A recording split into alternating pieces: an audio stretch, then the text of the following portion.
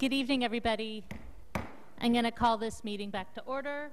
Welcome to the council meeting of November 19th, 2018, and please join me for the Pledge of Allegiance.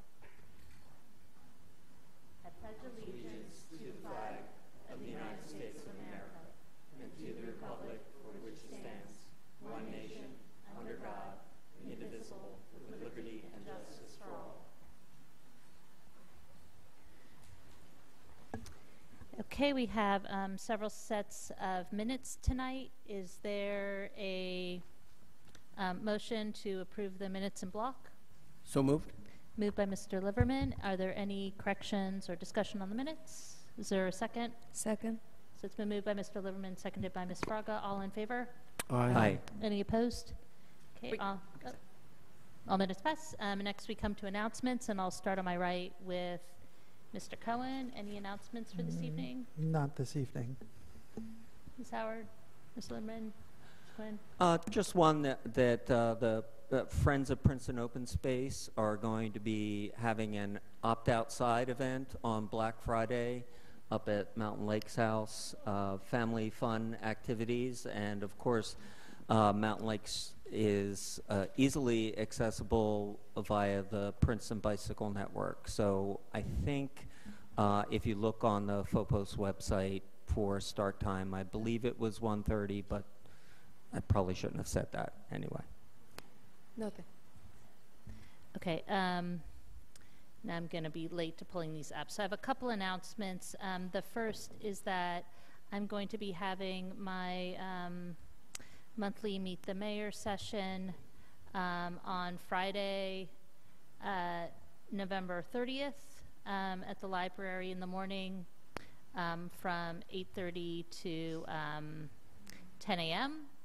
And I also just want to take this opportunity to thank our uh, police department and public works department, and especially our recreation department, for their response to um, the storm on Thursday. Um, a lot of people don't realize this, but actually, the recreation department was out salting 206, the state highway, um, and it was really a all hands on deck. Um, and I, I just want to thank them for um, for for chip for chipping in.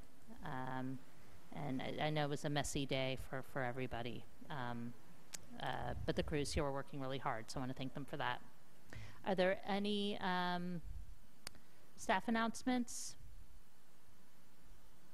No? Okay. I I did want to read one. Um, Deanna Stockton, who um, is our engineer, is not here tonight, and she sent something out that um, I just wanted to remind everybody about um, because there's a lot of road work going on right now. Um, so um, I'm slow pulling this up. Yeah, it's the Cherry Valley Road project um, is going to start on November 26th, weather, weather permitting. In the first phase, Cherry Valley Road will be fully closed. That's closed 24/7 east of Cherry Hill Road to Birchwood Drive, and only residents who live in this section of the roadway and their service providers will be allowed to enter the work area, and through traffic will be detoured. Um, and um, there's more information about this up on the town website. Um, as people are also aware, 206 um, is uh, closed temporarily for the replacement of a culvert. Um, and then in happier announcements, um, we're going to be offering free parking on Sundays, starting this Sunday through the duration of the holiday season. Um, it'll be free two-hour parking at the two-hour meters. Okay, um, so now we'll come back to our award of recognition for this evening, and I want to turn it over to Tim Quinn. Thank you, Mayor. Uh, I'm pleased that by the luck of the draw, I was selected to present the award of recognition in November, which happens to be Epilepsy Awareness Month. Recently, in an epilepsy support Facebook group, two conversation starters caught my attention. One asked what two things those of us living with epilepsy would most like those of you who don't live with epilepsy to know. For me, the most powerful and succinct was from a choral conductor from Australia who wrote, My brain is at war, I am at peace. The next question was what two things we needed most, and the near unanimous responses were greater awareness and acceptance and more money for research. These are precisely the reasons I've selected Julie Ramirez for this month's Award of Recognition. More than 3 million Americans are living with epilepsy, more than MS, cerebral palsy, muscular dystrophy, and Parkinson's disease combined. Yet funding lags far behind other neurological conditions. Of that 3 million, uh, those 3 million Americans, roughly two thirds are people like me whose epilepsy is well controlled by medication. We are relatively fortunate uh, ones who only have to deal with side effects which, as the commercial says, do vary and which I can tell you from personal experience are usually unpleasant. Uh, the other one third are those for whom medication does not work or works only sporadically or temporarily. For those people, um, they're desperate for a cure. It is a matter of life and death. Indeed, 50,000 Americans die each year from seizures and related causes. Though as common as breast cancer, you're far more likely to see a pink ribbon in October than purple ribbons like the ones my colleagues are wearing uh, in November. That is because epilepsy is mysterious and misunderstood, and those who live with it often have to deal with stigma and ignorance. Which brings me back to Julie, uh, who, whom some of you know as a member of the Citizens Finance Advisory Committee. Her activism, inspired by the experiences of her brother Danny, involves raising both awareness and raising funds. Her work for Citizens United for Research in Epilepsy, founded by President Obama's advisor David Axelrod, is focused foursquare on what those of us living with epilepsy most desire a cure. Julie is also active online, destigmatizing epilepsy and educating the public that we are not brain damaged, we are just brain different. For this little known advocacy and for her generosity toward research efforts, please join me in applauding Julie Ramirez.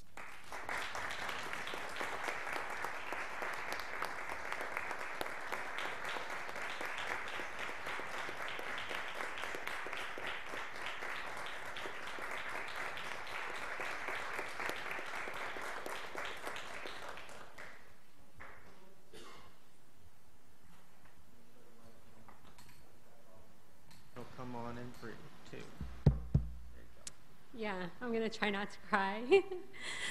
but yeah, I want to thank Tim for raising awareness um, for epilepsy and for CURE, Citizens United for Research in Epilepsy. Uh, CURE is one of the largest um, private uh, funders of epilepsy research in the world. And um, every day they're making new strides, but um, ultimately, as Tim mentioned, we need a cure. And um, I'm getting a little emotional. My brother um, suffered from epilepsy from the time he was three. And um, he was one of the unlucky people that Tim mentioned whose seizures were not controlled. And um, he relied very heavily on a lot of medicine. Um, but yet, you know, he had a strong desire to live independently and um, to have you know his own life and his own job and and and things that all of us sometimes take for granted. And um, my brother passed away a few years ago from an epilepsy-related incident, and um, my dedication to this is, you know, he always, the one thing he wanted was a cure. And um, there are so many people who shouldn't have to suffer the way he did and, um, and, and pass away the way he and, and many of my um, friends from Cure's children have. So um, I just want to thank you all for taking a few minutes to listen and to um, hopefully learn something new about epilepsy and be uh, you know conscious of the struggles that people with epilepsy face um, in their day-to-day lives. It's a, sometimes it's a silent kind of illness. It's not always visible, and um, there's a huge stigma, as Tim mentioned. So we need more acceptance, and we, we need a cure. So thank you.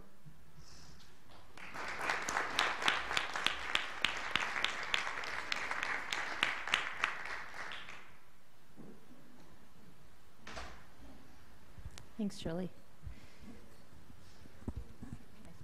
Thanks, Tim. And we have two proclamations on the agenda for tonight. Um, the first is Small Business Saturday, um, which is traditionally the Saturday after Thanksgiving, and that's the same this year. Um, it'll be November 24th, 2018, and we encourage everybody to uh, shop local that day and every day. Um, and also, there's a proclamation for Communities of Light Day, which is December 3rd, 2018. Um, this is an event put on every year by Womanspace, um, and we certainly support their efforts um, to raise awareness about um, domestic abuse. Um, now we come to the part of the agenda for um, comments from the public for items that are not already on the agenda. Um, there was a sign up sheet, and we'll start with the people who signed up, um, and then we'll move on to anybody else who'd like to speak. Um, some of the people here have said zoning. I think everybody actually who signed this sheet, I'm going to hold these names because I think it's more appropriate for you to talk during the public hearing for the um, uh, ordinance public hearing on the neighborhood character. But if there's anybody who'd like to speak to something that's not already on the agenda, I invite you to come up to the mic.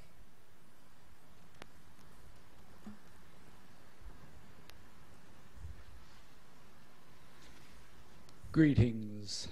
My name is Raymond DeVoe.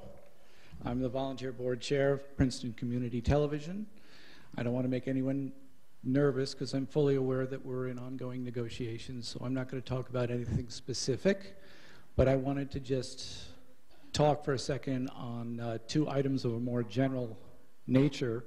Um, obviously, we were disappointed with council's interest in reducing the pass-through funding of the public access um, uh, franchise fees, but um, I think we come at the dollar per cost per citizen argument from different angles, and it's quite possible that's that's the way it'll have to stay.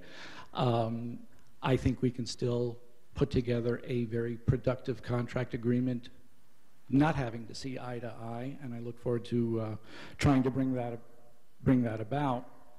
But uh, one thing that is in, incontrovertible, and uh, not many people are aware, is that over the past three years, however, PCTV has been directly and solely responsible for the upgrade of the Monument Main main conference room to the tune of over $70,000. This was supposed to be a backup studio, which members could reserve on our website and uh, would be complete with an internet trunk line to the station downstairs, neither of which uh, were afforded to us in the end. But that is $70,000 benefit to the public works, the municipality, and thus the citizenry.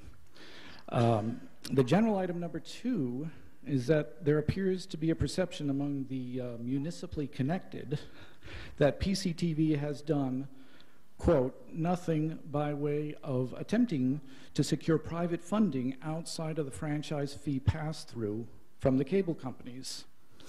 Um, in fiscal year 2017, PCTV raised over 25,000 from private sources.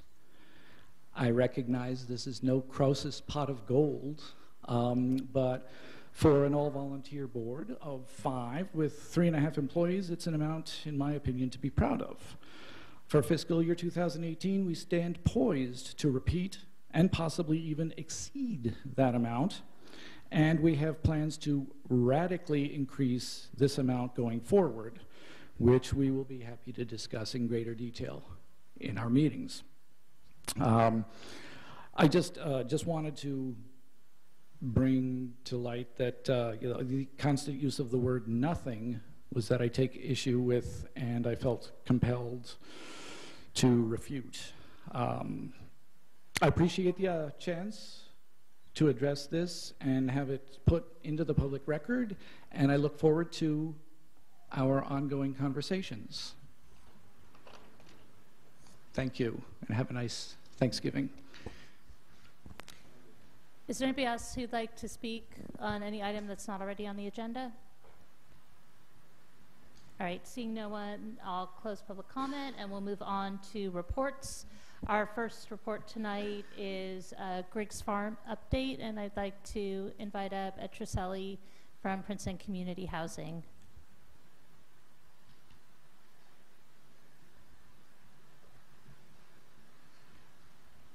Hi, good evening, Mayor, council members, public, members of the public. Thank you for the opportunity to be here tonight. Um, Again, I'm Ed Truscelli from Princeton Community Housing, and I wanted to update everyone on the progress of the renovation to uh, one of the buildings at Griggs Farm. As everyone uh, may recall, back on December 27th of last year, we unfortunately had a fire at Griggs Farm um, in one of the buildings and uh, the building was heavily damaged, and unfortunately, a resident uh, passed away in that fire. Um, I'm happy to report, though, we had a great outpouring of support from the community, and uh, as many of you know, we've been able to temporarily uh, house uh, the residents who wish to return to Griggs Farm in other um, rental apartments during the, the past several months. And um, I'm also happy to report that the renovation progress uh, is moving along pretty, pretty well. Um, after the receipt of the building permits in June uh, of this year, uh, the work began in earnest, and at this point, it is expected to be completed by April of 2019. Uh, the Griggs Farm Condo Association is actually leading the effort to restore the building. Uh, we, PCH, Princeton Community Housing, are uh, working hand in hand with the Condo Association, but they have the lead responsibility for restoring the building. Um, at this point, um, much of the major systems have been replaced at the building, especially the center portion of the building uh, where the, the, majority of the damage occurred. Um, roof has been replaced, windows, siding, um, some of the interior structure has been replaced.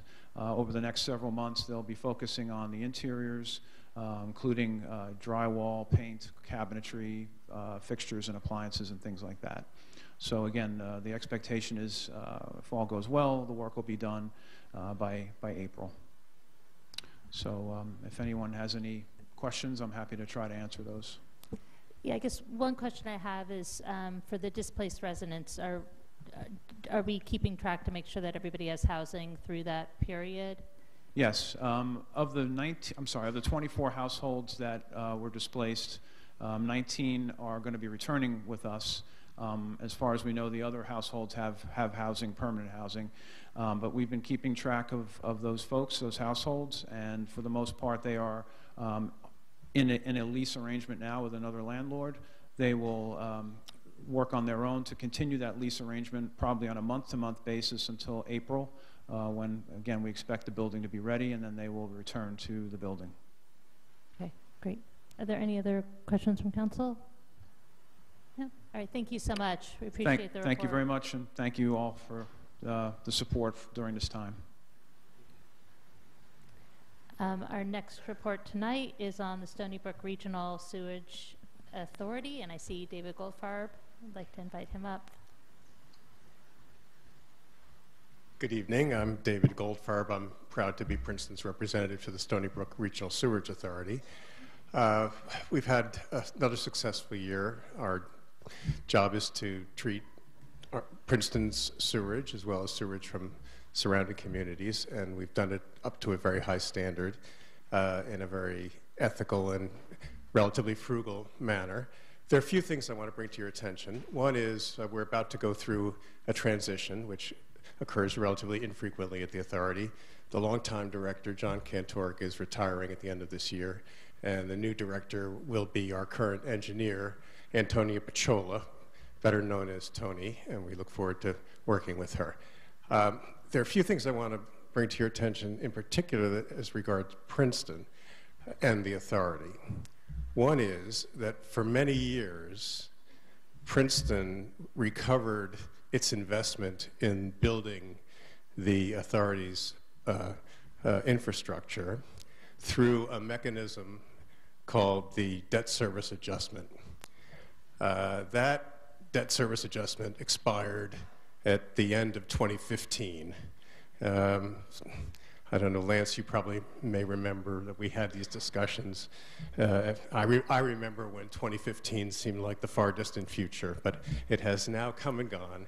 And the consequence is that Princeton is unable to get any sort of connection fee so that as the other communities grow relative to Princeton, which is likely because the other communities are South Brunswick, West Windsor, Pennington, Hopewell, uh, uh, Princeton is not receiving back the investment that we have made.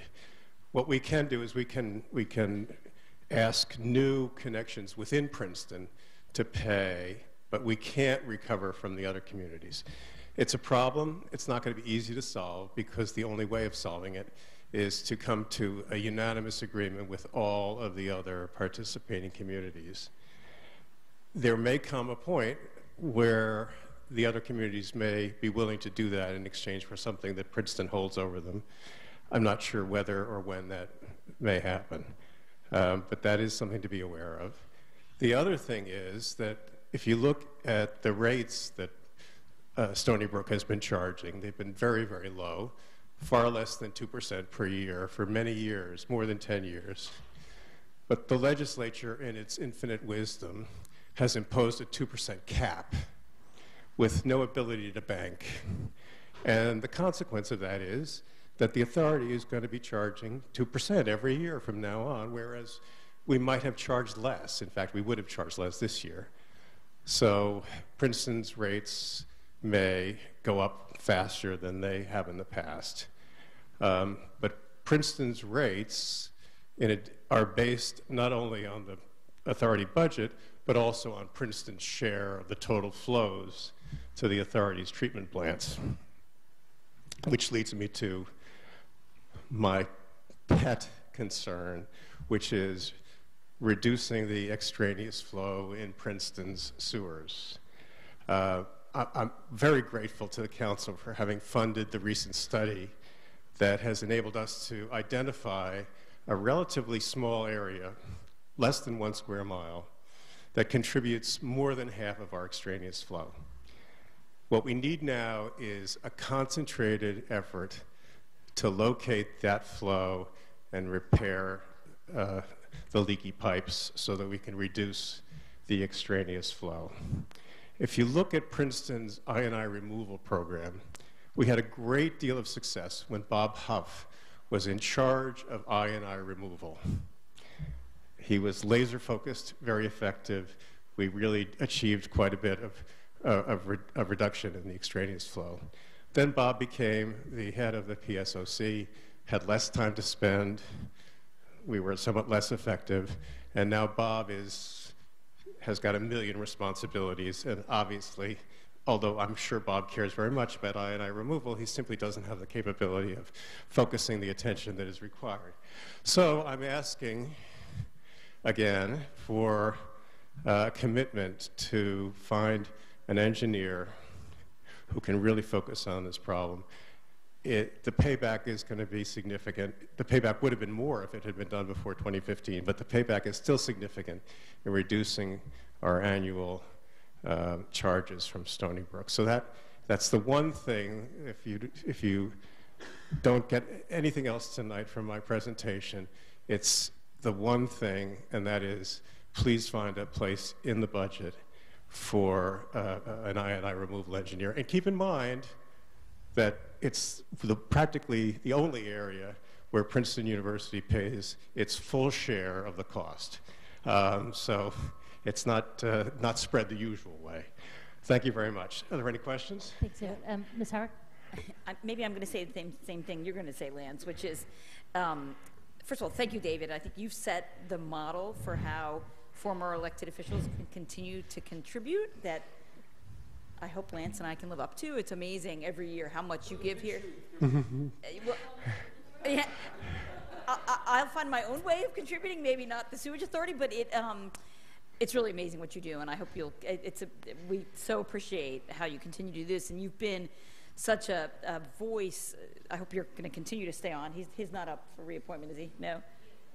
Are you going to continue? I'm, I'm, I've got, be happy to continue. public, lots of Um, You'll have to, yeah. you have to check with the authority as to what the expirations is. There's some confusion, but uh, my term actually may be ending, in which case I would very much like to be reappointed. Excellent.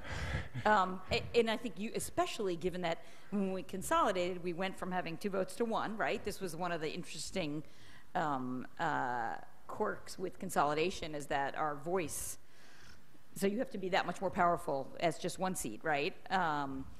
Um, so just can you say more about what, what specifically you mean that you're asking for? You're saying you, you need another FTE, you're saying, or you just I- need I- another? we- We're looking for an individual, an individual to perform the same function that Bob Hough did maybe five, somewhere between five and 10 years ago. And that is to be responsible only for finding and removing extraneous flow in our sewer system. It, it, when Bob did it, I mean, I you can see the charts. I'd be happy to share them with you. When Bob did the job, we saw the results. They were significant, and they have not really continued. I mean, the, the, the flow that was removed is, is still gone, but we have not made additional reductions in extraneous flow since Bob assumed additional responsibilities. So we, we, my request is to find an individual whose job it is to find and remove the extraneous flow. So Bob's not here, but Mark, I hope this is something we can take, because David doesn't often come, you know, with requests, so this sounds very serious. And Uh, absolutely, I will bring that back, and I'm sure we'll have discussions with Mr. Hough. Thank you. And uh, any other questions?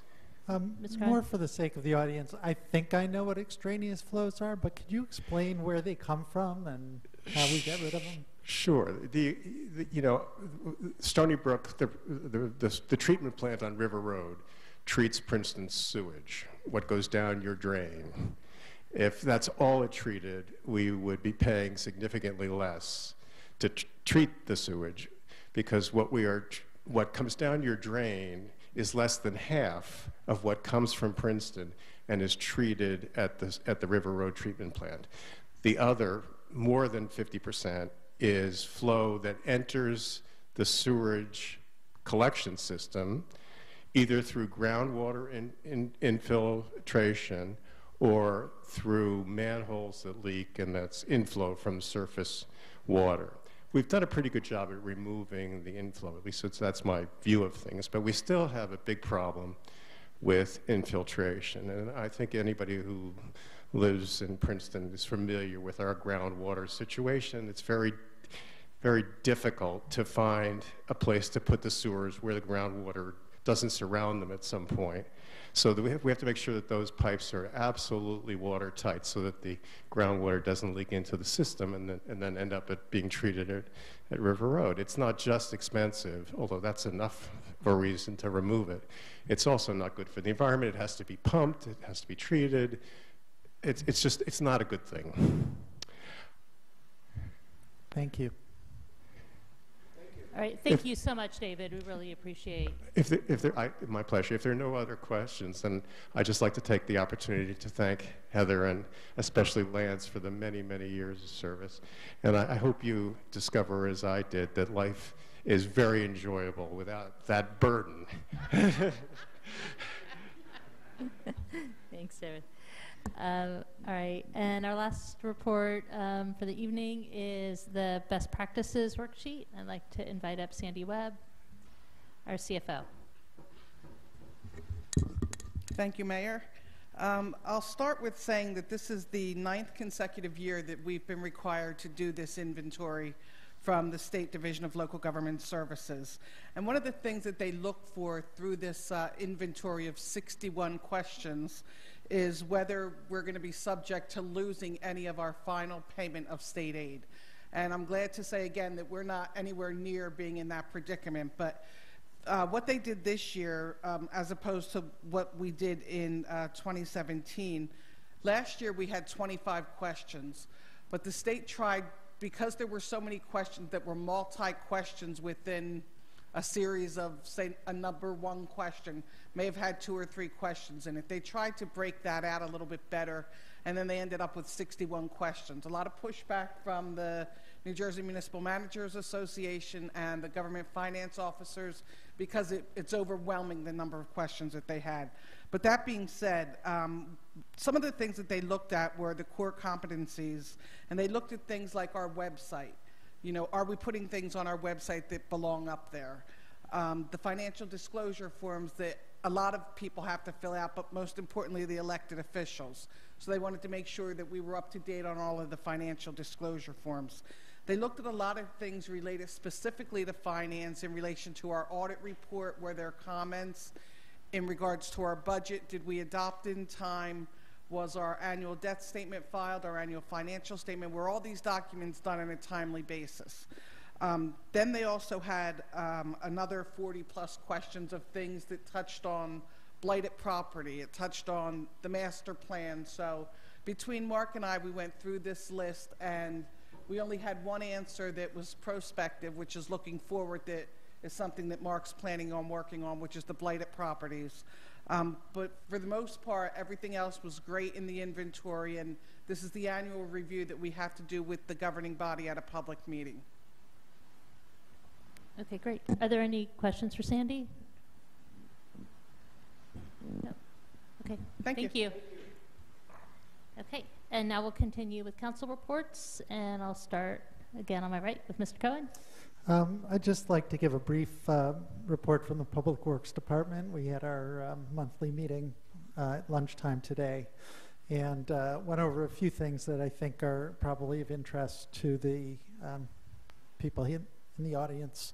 Uh, first of all, we reviewed progress on the parking changes, and actually, we're happy to hear that there have been very few complaints.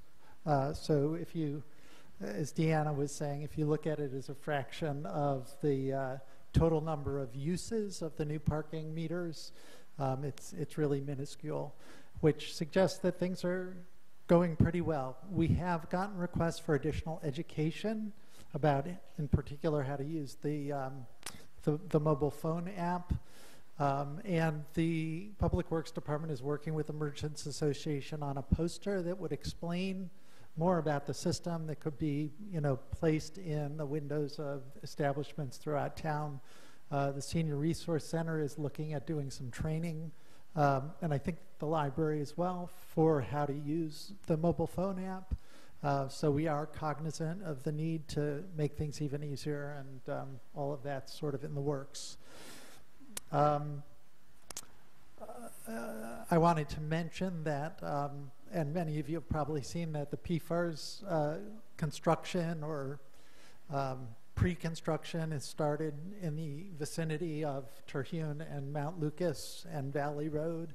Um, they're actually hoping to get started with their real construction um, by uh, around the end of this month and have requested that um, one direction of traffic flow on Terhune Road actually be closed uh, for a staging area for them. So it hasn't been actually authorized yet, but that would be the inbound direction.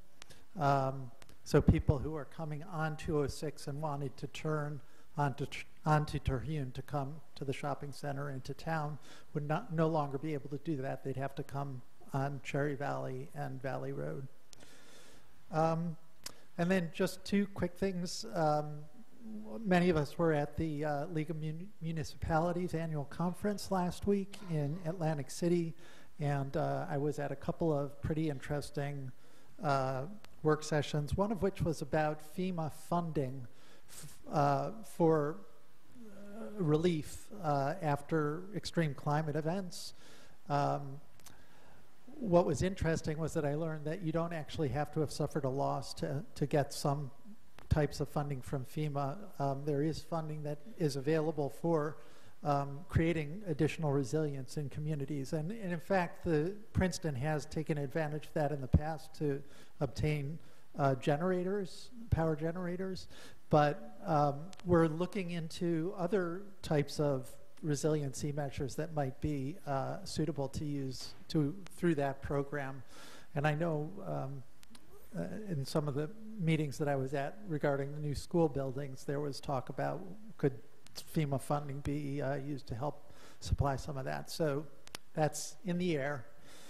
Um, and the last thing I'll mention is that um, many of you know that VW had to pay a quite large settlement um, for, uh, you know, uh, um, as compensation for the um, the emissions fraud that they took place in with their diesel vehicles a few years ago. About $79 million of that is coming to New Jersey, and the state is accepting uh, applications for uh, projects that would help to mitigate um, carbon emissions. And uh, um, through Sustainable Princeton, we've actually submitted an application for about $2.3 million grant to transition um, parts of our municipal fleet, both regular automobiles, um, the FreeB buses, and a few public works heavier trucks. Um, the deadline is going to end uh, at the end of this year, and we should find out sometime early next year whether we get any of that funding. But I just wanted people to be aware. Uh, no reports, but one question related to parking that maybe you can answer, or someone else can, is there, uh, why does some of the meters still have the bags on them? I believe the meters that have bags on them are ones where pay stations are taking over for the meters, you know, the kiosk type pay stations, but they just haven't gotten around to removing the heads Oh, they of haven't. the. And what's the, that, so is that su- imminent, or the room, got it? Yeah, just, just briefly, um, the uh, Corner House Student Board had their dodgeball tournament, and this year the police played the fire department, and it turned out very well. Um, everybody had a, well, I think for the police, I believe. um, the other thing I wanted to say on April 9th, 2019, the uh, Princeton Alcohol and Drug Alliance will be having an educational forum, uh, and I believe it'll be here in this room, um, in regard to the effects of uh, vaping and uh, marijuana um, and the effects they're having on our, our youth today. So we'll keep you uh, posted. Thank you. Just uh, a couple of quick items from my time at the League of Municipalities. Um, One was I attended a session about downtowns. Uh, Specifically, this was done by people who were talking about special improvement districts specifically, but um, two of the takeaways are we're way ahead of other towns uh, in in leveraging our downtown. It's sort of the a lot of communities are realizing that um, experiential downtowns are the way to go.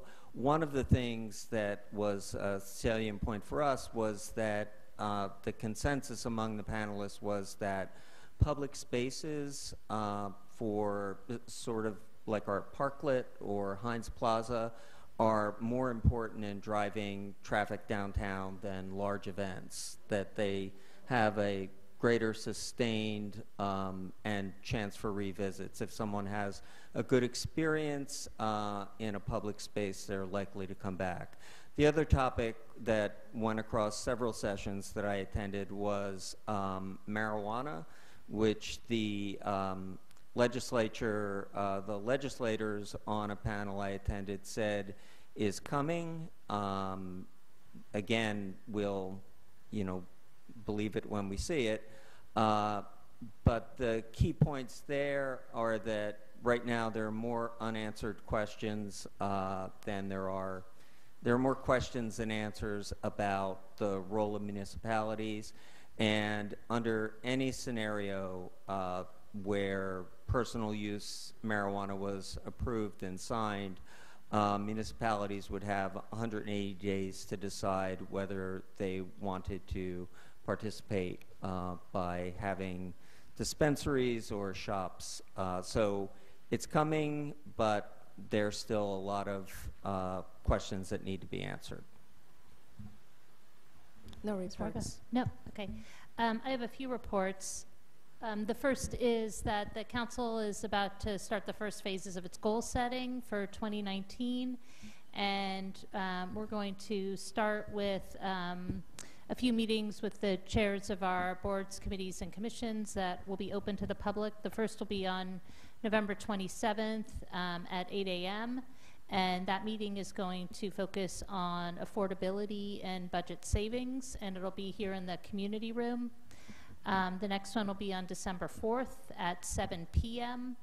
And that will focus on sustainability and wellness. And then there'll be a second part to the meeting that will focus on inclusion and social justice. That will also be in the community room. And then finally, we'll have a meeting on December 11th, also at 7 p.m. Um, and that will focus on user-friendly government. Um, and I would welcome if anybody um, feels like there's issues that the council should be working on for 2019. This is the time to send us emails. Um, we try to sort through all the projects we want to do and um, put together priorities. And I'm very excited to have um, Dwaine Williamson and Eve Niedergang join us for those meetings too as the incoming council people. And I think that this might be the first meeting we've had after the election, so I also want to say congratulations and we look forward to having you up here in January. Um, let's see. Um, I also wanted to mention that the board, committee, and commission application is up on the town website at princetonnj.gov. If you're interested in serving on a board or commission, this is a really good time of year to apply um, because um, there are several people stepping down um, as their term expires. And so there's several openings. We have openings um, just off the top of my head on the Environmental Commission, the uh, Bike Advisory Committee, Affordable Housing Board, um, Civil Rights Commission, um, and several others. So um, you can go online, you can see a list of all the boards and commissions. Um, we um, are always looking for diverse pool of candidates that represents the town, so um, I encourage you to apply. Um, I also attended the New Jersey League of Municipalities conference, and what I recommend is that all of us who were there put together a list of some of our takeaways from the sessions we went to. Um, just a couple that I thought were interesting. The town of Summit has um, an interesting arrangement with, um, they go out to bid every year. Right now they have an agreement with Lyft to provide rides to and from their local train station um, because they're having an issue with parking there. Um, and they've been growing it every year. Um, so I, th- I, thought that was an interesting project they have. Um, also, um, there's a new FCC order that um, is pretty awful for municipalities. It um, preempts local control, and one of the speakers there basically described it as a $2 trillion giveaway to, uh, to the mobile companies. Um, so essentially, um, they had some news for that municipalities could use in terms of crafting an ordinance that um, would help protect us. So, and I've talked to Trishka about it. So hopefully, we can put something together um, so that we're protected to the degree that we can be. Um, and then finally, um, I forgot to mention under announcements that the annual community Thanksgiving service is going to be uh, Thanksgiving morning at 11 a.m. at the University Chapel. It's an interfaith service, and um, for folks who are in town for Thanksgiving, um, it's a, a really lovely event, and I invite you to attend. Are there any staff reports, Mr. Shield? Thank you, Mayor. Um, I want to give one report. Um, our engineer, Deanna Stockton, is taking a much-deserved leave this evening, so I'm providing her report for tonight. I want to give you an update on the uh, parking. Um, as of since November 5th, launch of the parking meters, um, just to give you an idea of the number of transactions that have taken place in that period of time. Um, just in the meters and pay stations, the coin transactions were 4, um, 46,208. Um, meters and pay stations, credit card transactions were 20,739. Um, we've had over 2,213 um, app transactions, and 332 were out of the wallet. Um, in reviewing this data with our consultant from uh, Dixon Resources, she's um, indicated that that is actually a very high response in, in terms of the transactions we've had um, in this period of time. Um, ultimately, she expects um, the credit card and coin ratio to change to be 40% um, coins and 60% credit cards, and for the app to go up to about 5%. Um, we've updated the frequently asked questions, um, and that will be posted on the website tomorrow. Um, the following issues, we've been listening closely to um, the issues that our residents, have had. Um, so we've resolved a couple of issues. The Discover and American Express credit card, there were some problems with those that has been corrected.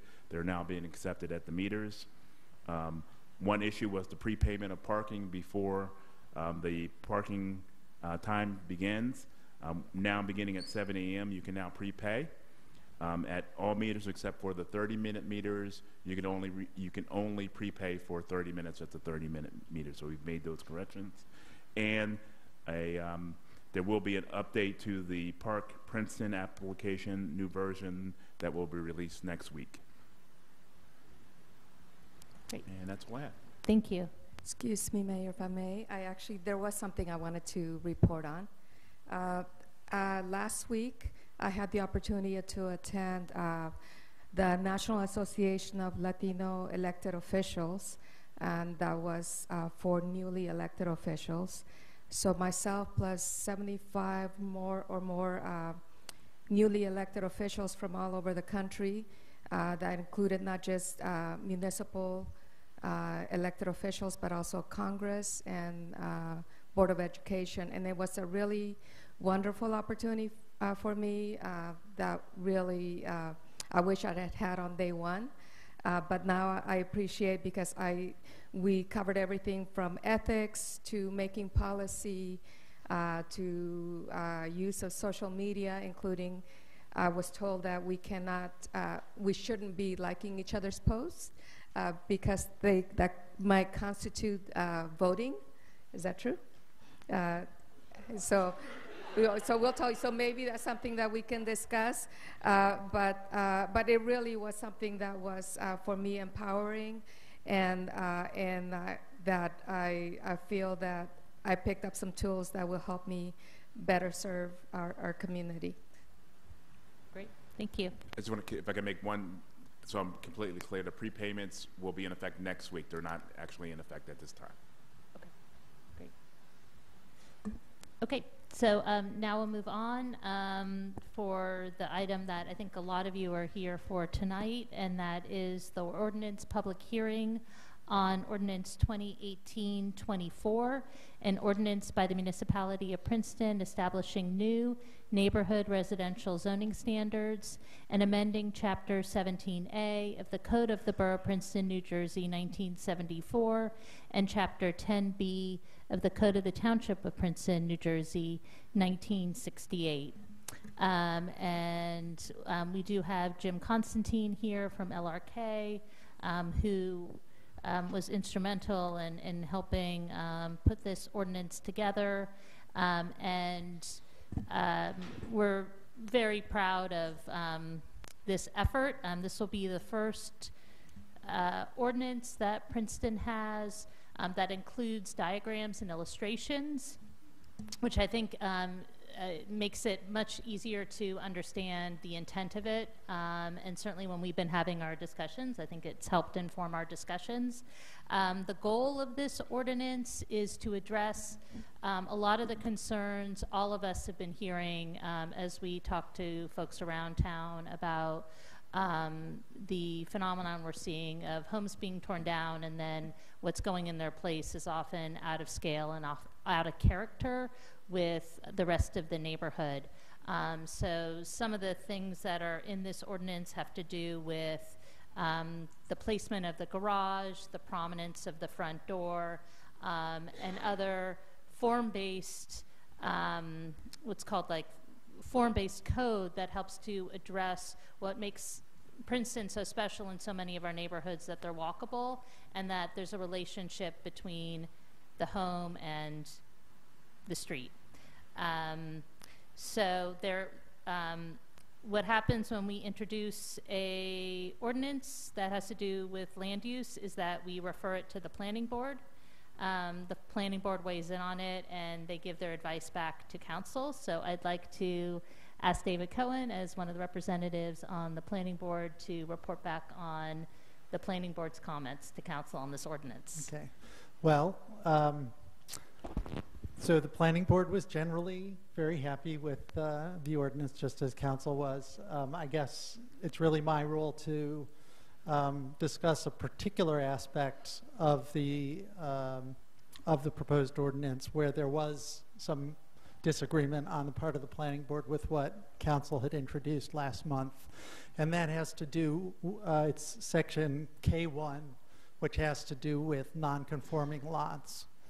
And um, I should give you a little background as to what council um, uh, introduced last month, just so you can understand the discussion. Um, basically, the section K1 uh, says that non-conforming lots, whether as to area, width, depth, any of the um, characteristics that are required of a lot, can be developed um,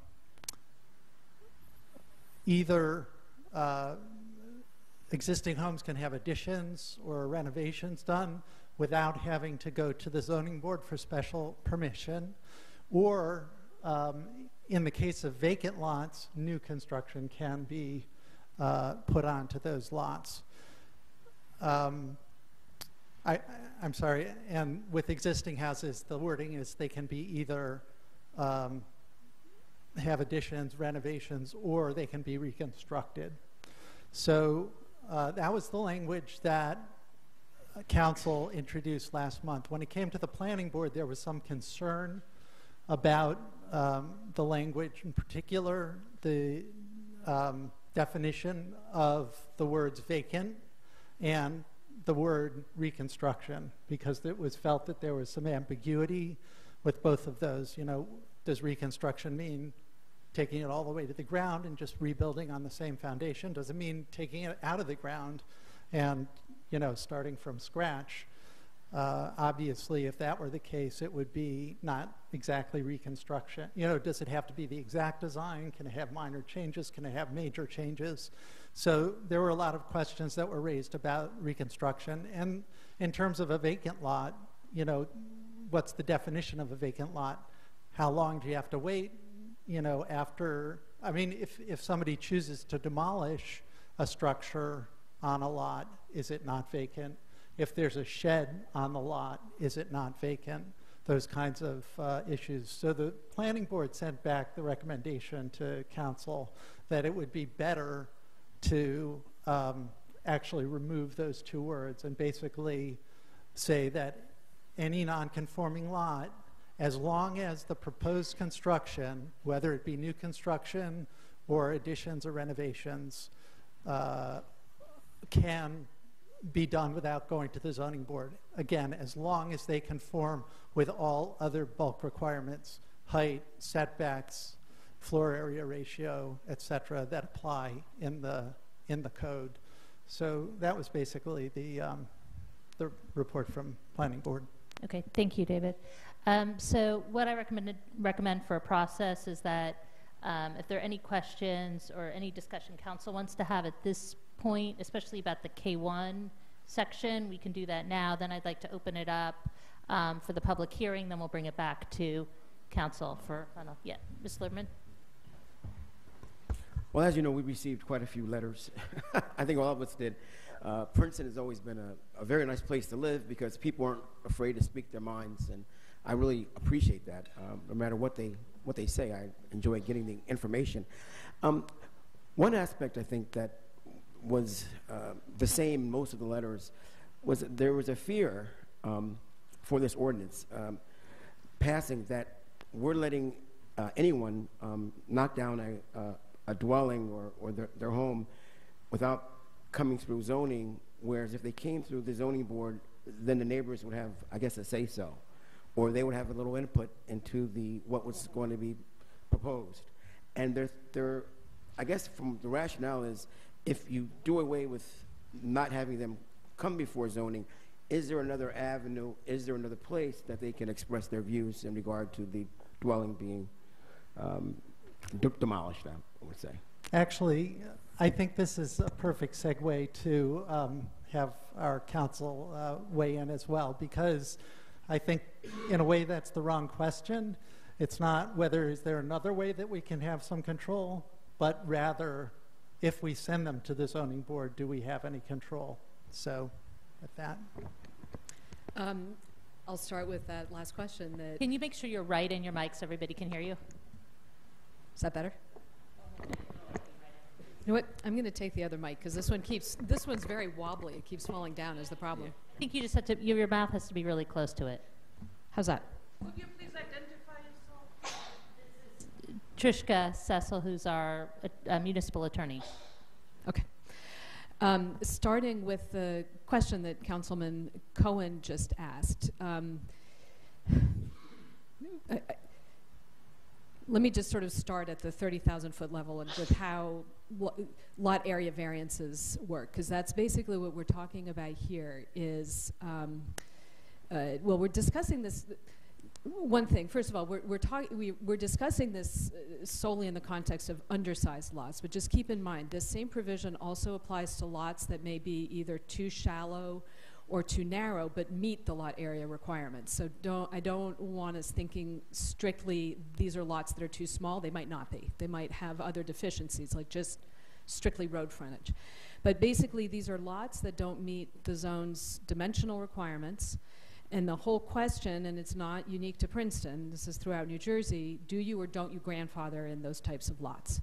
So what a lot of towns do is they do grandfather them such that if you can comply with all of the other bulk requirements, setbacks, yards, height, et cetera, everything Councilman Cohen listed, all you need is a building permit and a zoning permit. Where they're not grandfathered, then you have to go to the zoning board for a variance because of either the lot area or the other dimensional uh, deficiency. And these arise in the context of isolated lots, so you'll sometimes hear these referred to as isolated lot cases, because obviously if there's more than one undersized lot in common ownership, by law they merge. So you're just talking about isolated lots. Um, when zoning boards are confronted with these types of applications, and I will use lot area because that's the most common one, they're, they're in a difficult spot. Because the first question is, can you ever turn them down? Now, you will hear some attorneys who will say, no, you can never turn down a lot area variance application because that's a taking. I think that's uh, overstating it, but it comes very close to the case. When you're dealing with a lot area variance, what boards have to be mindful of, what the courts tell boards to be mindful of, is the fact that in denying the variance, you may be depriving the owner of any beneficial use of the property. That's the term that they use. Put more commonly, you're taking the property away from them because you're not allowing them to do anything with it. That's a taking, and in this situation, it's a taking without just compensation, which we all know is unconstitutional. So, that doesn't mean every one of these applications has to be approved. There's still a burden of proof, it's on the applicant. But you have to show what are called the positive criteria that you're going to suffer a hardship if the variance is denied. And then you also have to show that the variance can be granted without substantially impairing the public good uh, or the master plan and the zoning ordinance. So, how do you show a hardship? Typically, not uniquely, but typically, what applicants will come in and show either that they offered the property for sale to their neighbors and their neighbors weren't willing to buy the property at a fair and reasonable price, or they tried to buy property to make their lot conforming and they were unable to. If they can show both of those things, I mean, pretty much they've shown, well, I mean, I'm stuck. I can't do anything. My lot's too small and I can't make it any bigger and no one's willing to buy it from me. Now the board has to consider the detriments if it allows that lot to be developed. And this is also where it becomes quite tricky. Again, keep in mind, if you say no, the property owner can do nothing with the property. That could be a taking. So you have to be very mindful. Um, that doesn't mean you can't ever say no, but it's challenging to say no. So then the next question is okay, can you put conditions? Number one, how much information can you require? Can you make the property owner show you detailed architectural plans and building plans, or just they're going to put up a house and that's all you need to know? Um, the answer is yes to both of those questions. Um, generally, yeah, you can ask for fairly detailed information because the board has to make specific findings as to what is the negative impact, if any, going to be of the proposed construction. It's hard to make those findings without knowing what's being proposed. But here's the but, because the law in this area is nuanced. If the applicant, in addition to their ir- issues with the dimensions of the lot, they're also, for instance, going to violate the setback requirement and build too close to the property line. At that point, I would think any board would want very detailed plans. You would want to know how big the house is going to be, how long is that facade going to be, what, what is the impact to the neighbor going to be because it's too close to the property line. And I think in that scenario, a board has a fair amount of leeway in terms of imposing conditions to mitigate any negative impacts, because that's always the purpose of a condition mitigate, minimize a negative impact. On the other hand, if the only issue is with the dimension of the lot, and that house otherwise conforms to every single requirement that's been put in that zoning ordinance, what's the negative impact? Let's say I'm on a 2.9 acre, 99 acre lot in a three acre zone. And so that's it. I'm, I'm off. I'm only off by that tiny, tiny amount. I need the variance, but I comply with every single limitation on size and location that the governing body has imposed. At that point, it becomes very challenging for a zoning board to impose conditions and say, well, you've got to make the house smaller. Well, why? I, I'm off by that tiny amount, and I comply with every single other requirement the governing body said needed to be in place to mitigate adverse impacts. So what's, what are the adverse impacts that a condition would be intended to mitigate? So that's sort of the, the gamut. Can a board say no? Yes, but it has to have be super justified in saying no because the potential outcome of that is a taking. Can a board ever impose conditions? Yes, but the conditions must be reasonable and they must be intended to mitigate or minimize negative impacts, which in turn requires finding that there are negative impacts. Um, and the degree to which you can do that is going to depend each time on the circumstances of that variance, but the more the application conforms to every single requirement other than the dimensional one, the less, the harder it's going to be to find that there are still big adverse impacts that require a lot of conditions. So I hope that helped. I mean, it, it's it's the magnitude of the deviation. The less it deviates, the less it's going to have an adverse impact. The more it deviates, the more it's going to have an adverse impact. The more you can impose conditions. Questions or? Ms. Howard? So clarifying questions, Mhm. um, you're talking about the role of the board, but we've removed the board from the process in this I'm sorry? language. Ha- You're talking about the role Well, of the board, but. if but- you don't if you don't grandfather, which I think is really what's what's central to this. So what is what's the effect if you do grandfather in these pro- properties? What's the effect if you don't?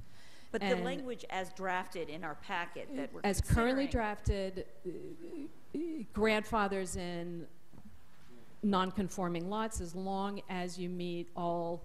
Okay, and by grandfathering in, you mean removes the zoning board role? Correct. Yes, I'm sorry. Okay, so you went through all that, but it seems like, I mean, that's what my fear is here. If we step back, people feel like the current system is being gamed a lot, and we're trying to build in guardrails to protect, and, and, and in effect, what this language does is remove that guardrail of the zoning board, even though what you're saying is, it's not to say that the zoning board always has the ability to, but it's a guardrail that promotes transparency and, and informing the community, and we're removing that.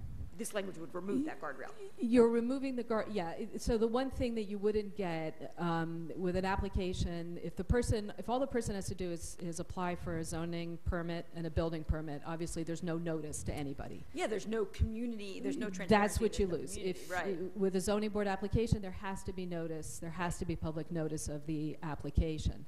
I think what, describing what happens at the zoning board with these types of applications, I think my hope was to try to give a sense that, of how big that guardrail may or may not actually be.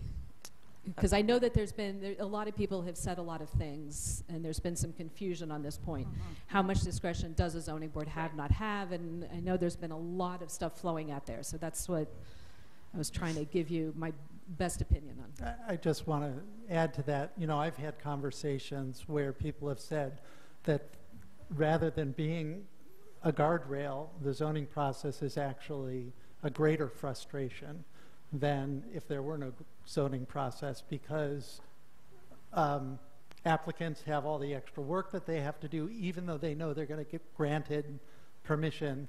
And the resident, the neighbors, think that they have an opportunity to improve something when they don't really have an opportunity. So, you know, at first I was in this conversation, I was saying, well, it's kind of like therapy for the neighbors. They may not get to do much, but at least they'll feel better after they get it off their chests. And he said, no, they feel worse because they feel frustrated and stymied by the by this specific zoning process. So I just wanted to throw that in.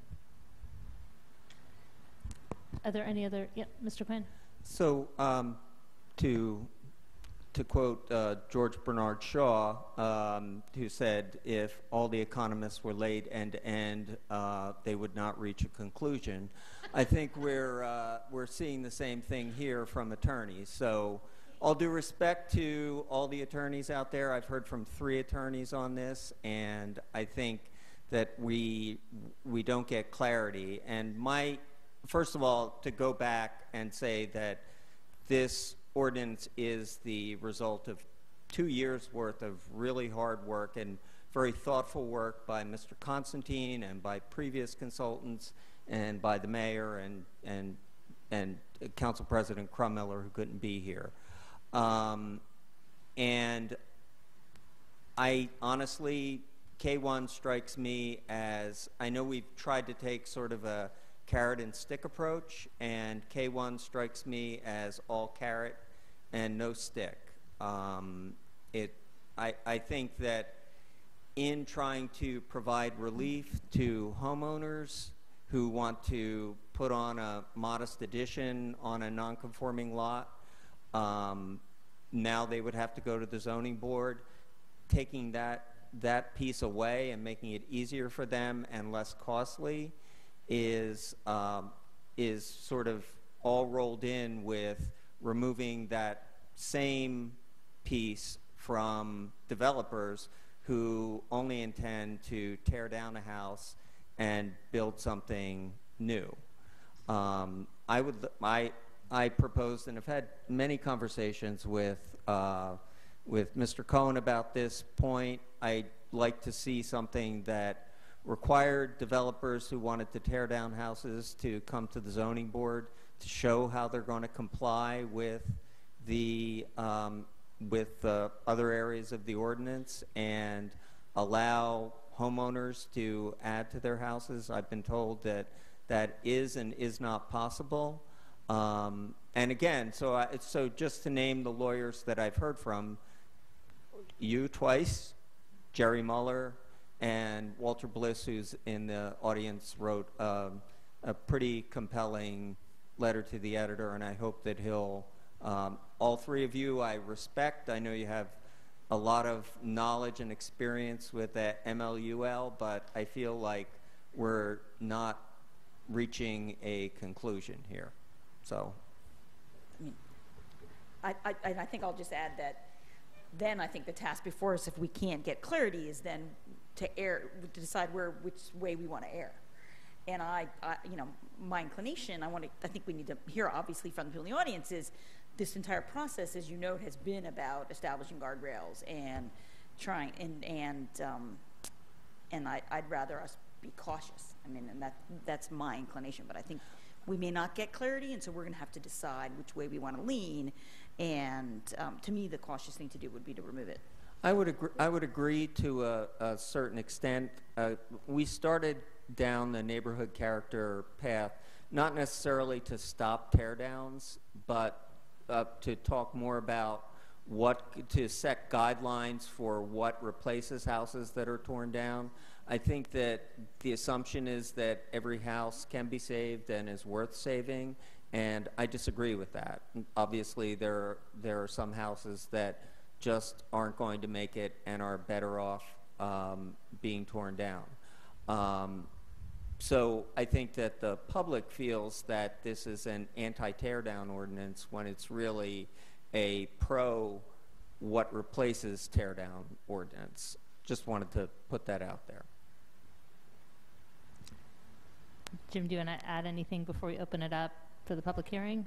No, just if the, um, if the council I don't know if wants. your mic is on. Sorry, or if, if, uh, if, if the council wants, I could give you a, you know, a two-minute overview on just sort of, you know, based on what Councilman Quinn just said, basically what this ordinance would do, and I think that might help provide some context for the neighbors. So first, um, on lots on, or homes on lots of half acre or smaller requires that the house face and relate to the street. We have homes that are built that, you know, you can't even find that front door.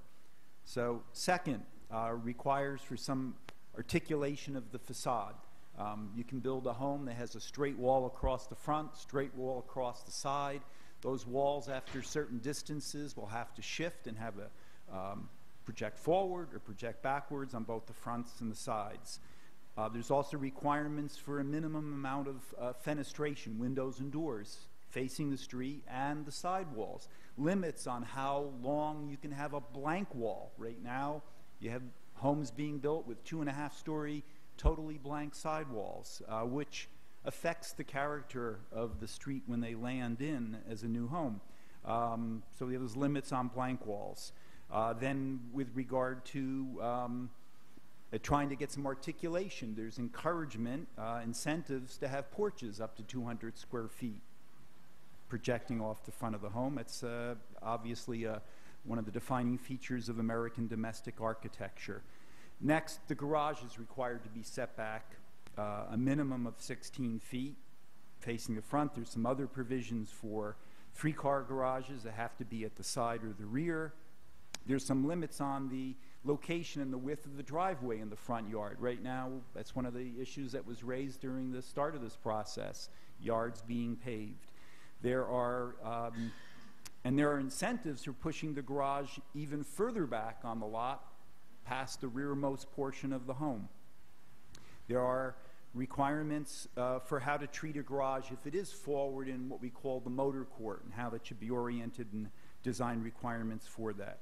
There's for smaller lots that have non-conforming setbacks, and these are in the R9 township zone and the R4 borough zones. so we're talking about Witherspoon Jackson neighborhood, the tree streets. If you're on a lot of 60 feet or narrower or 6,000 square feet or less, there's some flexibility allowing for some small alterations or additions if you have non-conforming side yard setbacks, and there's some limits you can basically do a, a, room, as I like to say, 15 feet long on the first or second floor.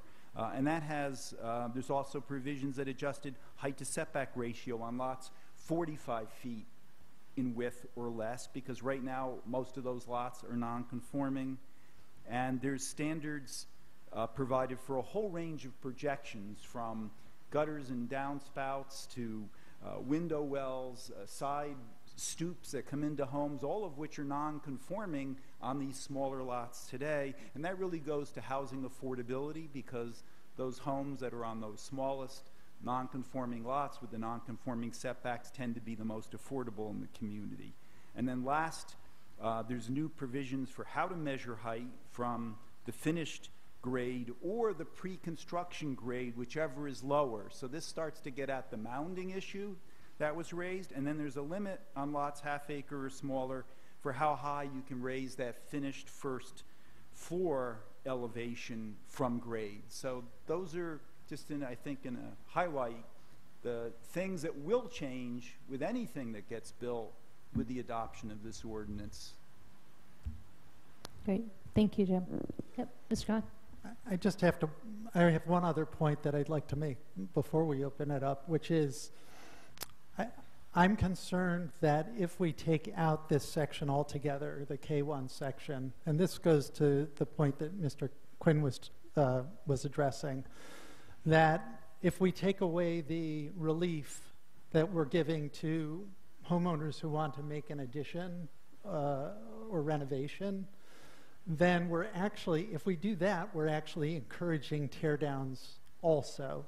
Because I think the way that a lot of the tear downs, and by the way, that's what we have in town right now. The current ordinance doesn't give any kind of relief to individual homeowners who want to make a change who have a non uh, non-conforming lot. And we've seen a lot of teardowns, and the reason is that homeowners in that circumstance are intimidated by the challenge of going for a variance, the expense of going for a variance, and they throw up their hands and find a developer who will then just tear down the house because they're not intimidated by the zoning variance process. So I think that if we make a change at all, it's important to make a change that preserves the relief for homeowners who are trying to make an addition or renovation. Okay. Thanks, David. Um, all right, so at this point, I'd like to open up the public hearing. Can I just get a sense of who is interested in speaking tonight? Okay. Um, so we will be using um, the iPad timer there, and I would just ask for um, respect for all the people in this room that you try to keep your remarks to three minutes. Um, and we're going to start um, with the people who signed up on the list, and then we'll open it up to other folks. So I'd like to call up um, Adam Bierman, and then after Adam, Derek uh, Bros- Brosnia, and then Mary Clerman. Can we ask people to line up so we can make sure we... Hot mic. Yeah.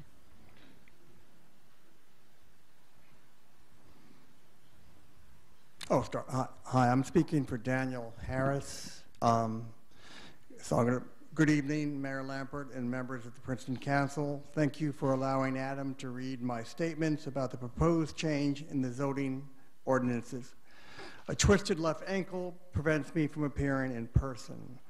I oppose the new ordinance for all the reasons so eloquently and keenly set forth by Jenny Kerr and Walter Bliss over there both of them experienced attorneys with wide knowledge of zoning in Princeton.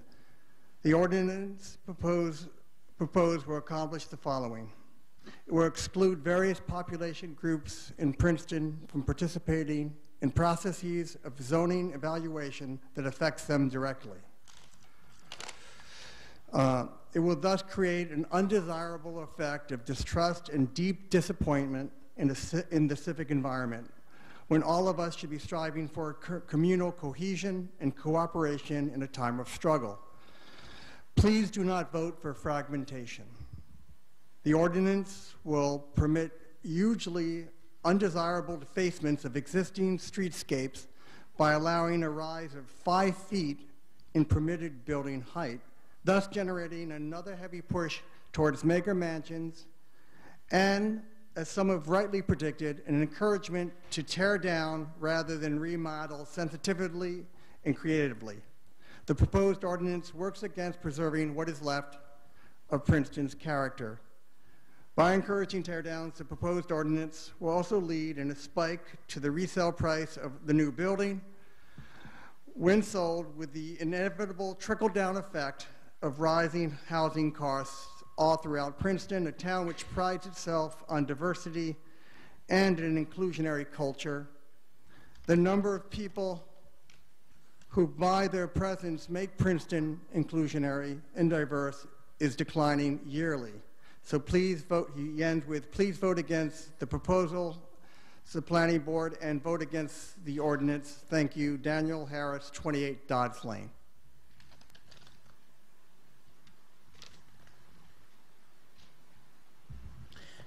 Good evening. Uh, I'd like to say this with all due respect to everybody who's been involved in drafting this uh, ordinance. I think it's actually misguided extremely. And you guys have all been talking about hypotheticals. Well, I, I have a lot that is 0.495 acres. And I just went through the variance um, process where I was approved to put a new house there. And I'm not sure what's so bad about putting a new home on a lot from a house that was built in 1958 that has zero energy efficiency built into it.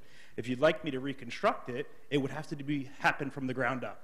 So what I, how I see this ordinance is no different than you telling me that I couldn't put a red front door. Now you're telling me where I have to put a garage. You're telling me what type, how many windows I have to put on the front of a building. That's the kind of things you're going to tell me. And I'm trying to understand that. Who comes up with what the character is of a town? Whose, whose idea is that? I'm not sure who decides what's right and what's wrong. Because as I drive around Princeton, there's many different homes in this town that, one, aren't going to be updated for several years. So, what exactly are you going to do about those? And on top of it, in the neighborhood that I live on in Riverside, my neighbors have 0.5 acres, some have 0.52, some have 0.48. So are you now telling me that my neighbor who has 0.05 acres more than me can now do something, but I can't? So it's just so arbitrary and ridiculous that it's something that you should, you should really just throw away, is what you should do. I mean, there's nothing else to say about it. it. Is just get rid of it altogether because the thought process that's gone into it doesn't think, doesn't think about things like that, honestly. And I, I'm, again, with all due respect, I just think it's, it's very misguided. Um, and I'd, I'd like to actually understand, if you're willing to answer, who is determining what the character of a neighborhood is. Because Princeton is so different no matter where you go. I mean, I've driven down Riverside and I can see so many different homes just on that street alone. I can answer, but I don't want to get in a back and forth. So if you are done with your comments, then I'm happy to answer. I mean, I appreciate that, but, and I, I'm not going to go back and forth, but to then, it would seem like that would be a correct answer where it's then just your opinion, right? Because you have no, an no, answer. This was a this was a process where we had we had dozens of meetings and um, we reached out to um, many of the existing neighborhood groups. We met with um, local architects and developers, and it was a um, one of the more comprehensive efforts that we've done. And I think character is the main character that I think we're trying to preserve here is a walkable community, which is not true in every single neighborhood, and that's why this does not apply to um, the outskirts of town, but it applies to um, the lots that Jim mentioned. I can't remember all of the different zoning areas, but essentially areas where there's sidewalks and where you have that relationship where you want to, um, people want to live in a neighborhood. This is what we've heard from the public where their neighbors have a front door that you can see as opposed to looking like it's a house for um, for cars because that changes the character of the neighborhood. So that's the intention behind it.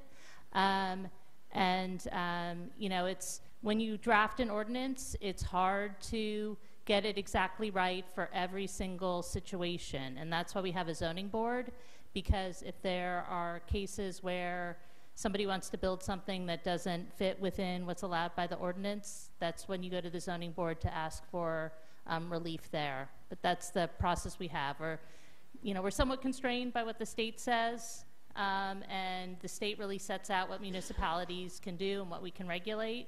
Um, we're responding to this issue with what's happening with building in our neighborhoods, I don't think I've gotten more emails about any other subject on anything. I would say even more than consolidation. Um, and so I think it is a big issue in town, um, and people want to see the government trying to respond to it. So have we done it perfectly here? I don't know, but I, I do think that we've, we've given it um, a really good shot in trying to address a lot of the issues that we've heard. Can I just ask you to answer one more question, if you don't mind? And it's just about, sure, it's just about how in the same neighborhood, you have lots of different size that would conform and not conform, and how you can arbitrarily apply that to neighbors, where a neighbor, one neighbor could do something and another one can't. I think that's arbitrary. Right.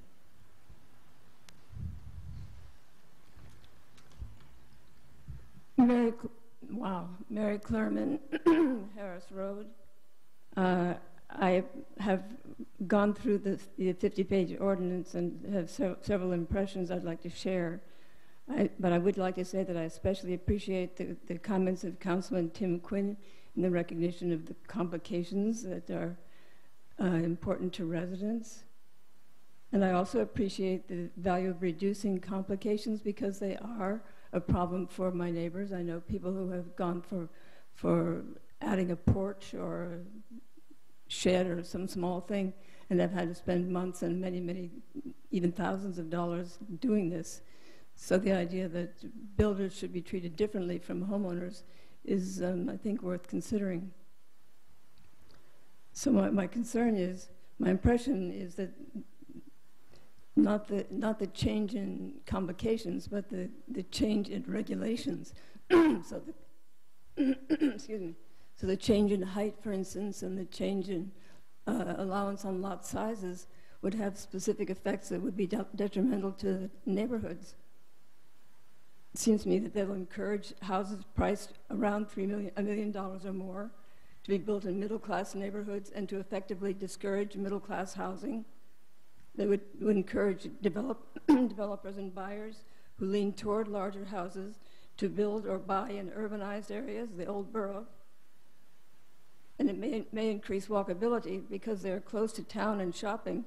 But shopping downtown includes little beyond restaurants, banks, clothing stores, and offices. For instance, there are no grocers, serious grocers, except at the ends of town. If these goals seem mutually contradictory to me, I, I do understand that increasing walkability reduces parking problems as it's a primary goal. Would not better mass transit better serve the, the purpose? A further question, where would middle-class newcomers live? In multifamily units or apartments and condos that are yet to be built, and where will those apartments go? The ultimate result seems to be urbanization of central Princeton and preservation of suburban Princeton. Is this the intention? This appears to be a major reinterpretation or revision of the master plan. What relevance does the master plan retain? Is it no longer the mayor's intention to preserve small town character? Or have I misunderstood things correctly? I understood that having a master plan allowed you to have restrictions and to say that there are things that the town permits and, and really wants to encourage. And, and so I'm- really surprised to hear that you can say that you can have porches and you can and you must have porches in certain zones, but you can't have height restrictions in other zones. It Doesn't make sense to me. Thank you. I appreciate the opportunity to speak. Thank you.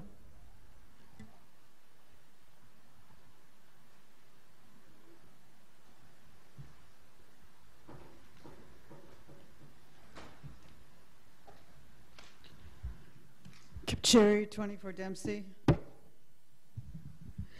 Um, For myself, and I appreciate very much all the work that's gone into this, and I think the illustrations are really interesting, and I think you've been coping and trying to come up with some really new ideas.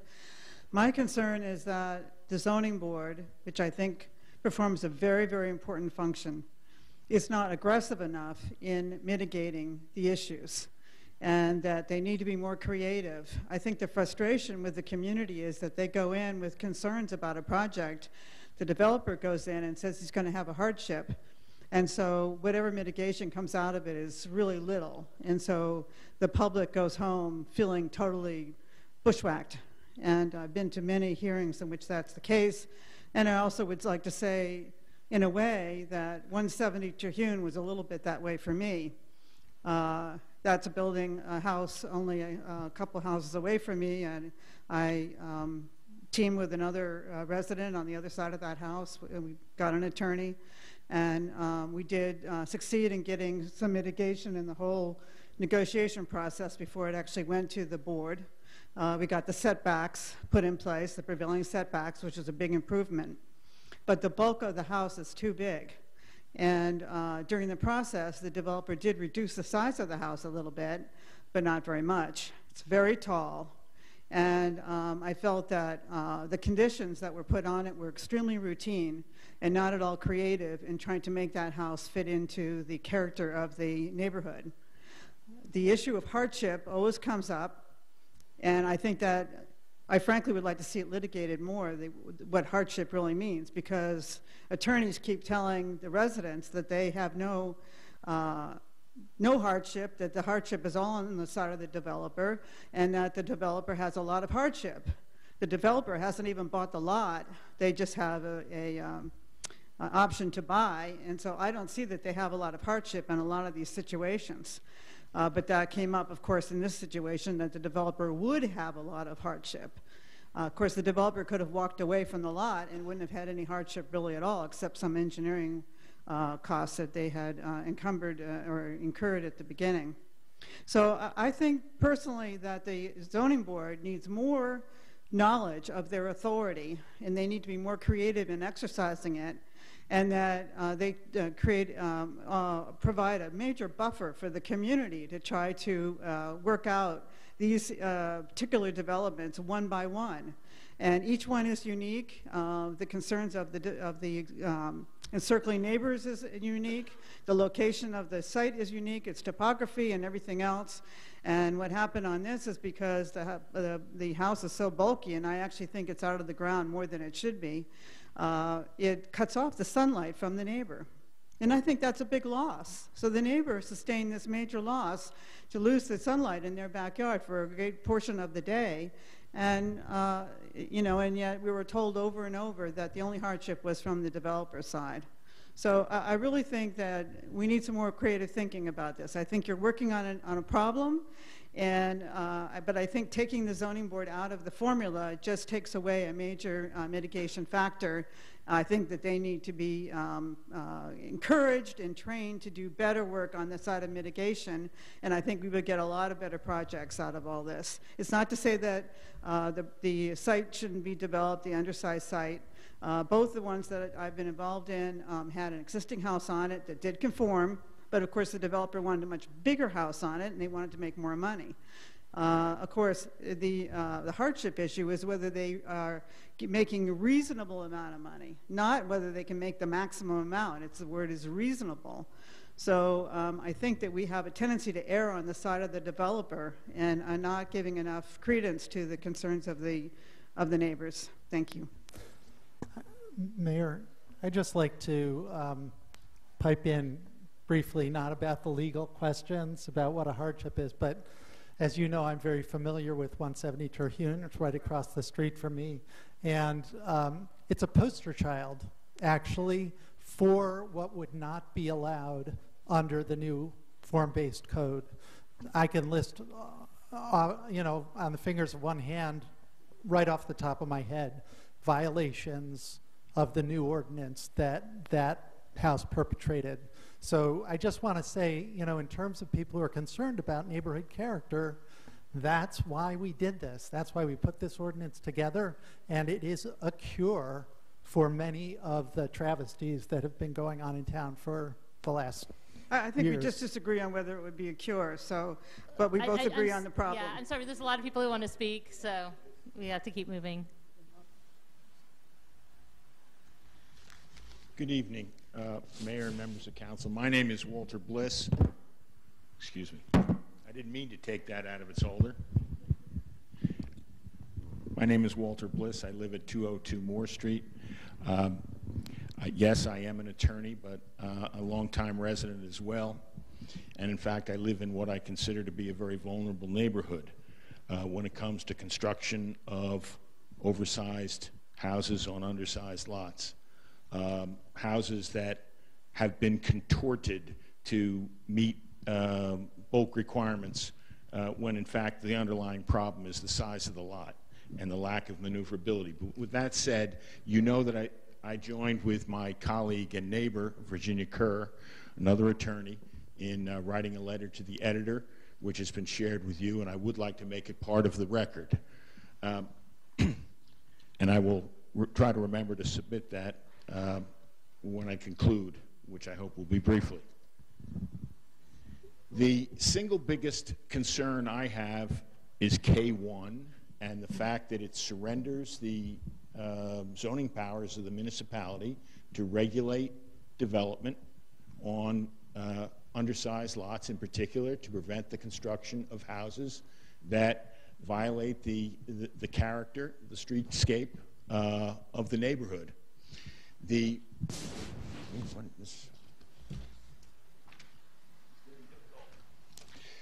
and the thing that concerns me most is the representation I've heard repeatedly that. Am, am You I can hard- pull out the mic and just hold it if that's easier. Okay. I am sorry. My, my greatest concern uh, is the oft repeated statement that the zoning board has no power to uh, regulate development on undersized lots through the variance power. In particular, it, it doesn't have the power to deny a variance, uh, a bulk variance. Uh, in fact, I think uh, there is clarity on that subject, and I'd like to share it with you. First, the statute itself, the land use law itself, provides that all, all of variances and undersized lots have always required variances unless grandfathered. Uh, undersized lots must meet not only positive criteria, which have to do with hardship, as we've mentioned, and I won't belabor that, but they also have to meet negative criteria. Uh, and these are the essential criteria in terms of preserving a neighborhood. And the statute reads, quote, no variance or other relief may be granted under the terms of this section without a showing that such variance or other relief can be granted without substantial detriment to the public good and will not substantially impair the intent and purpose of the zone plan and zoning ordinances. And I submit that oversized houses on undersized lots in neighborhoods, uh, in homogeneous neighborhoods uh, with, a, with a defined neighborhood character, uh, violate these negative uh, criteria. That is, they fail to satisfy the negative criteria. Now, let me read to you if I may, to provide clarity uh, from opinion by Judge Serpentelli, whom you know in other contexts.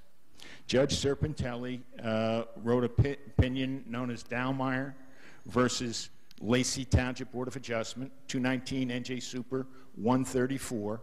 And at page 145, he said, and this case concerned in particular the powers of the zoning board with respect to construction on undersized lots.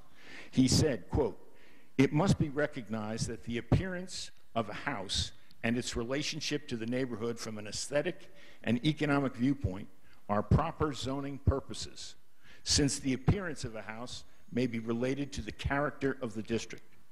Therefore, the applicant should submit detailed plans, that is, the applicant for a variance uh, for an undersized lot, must submit de detailed plans for the house that demonstrate its compliance with the building code and adequately describe its appearance.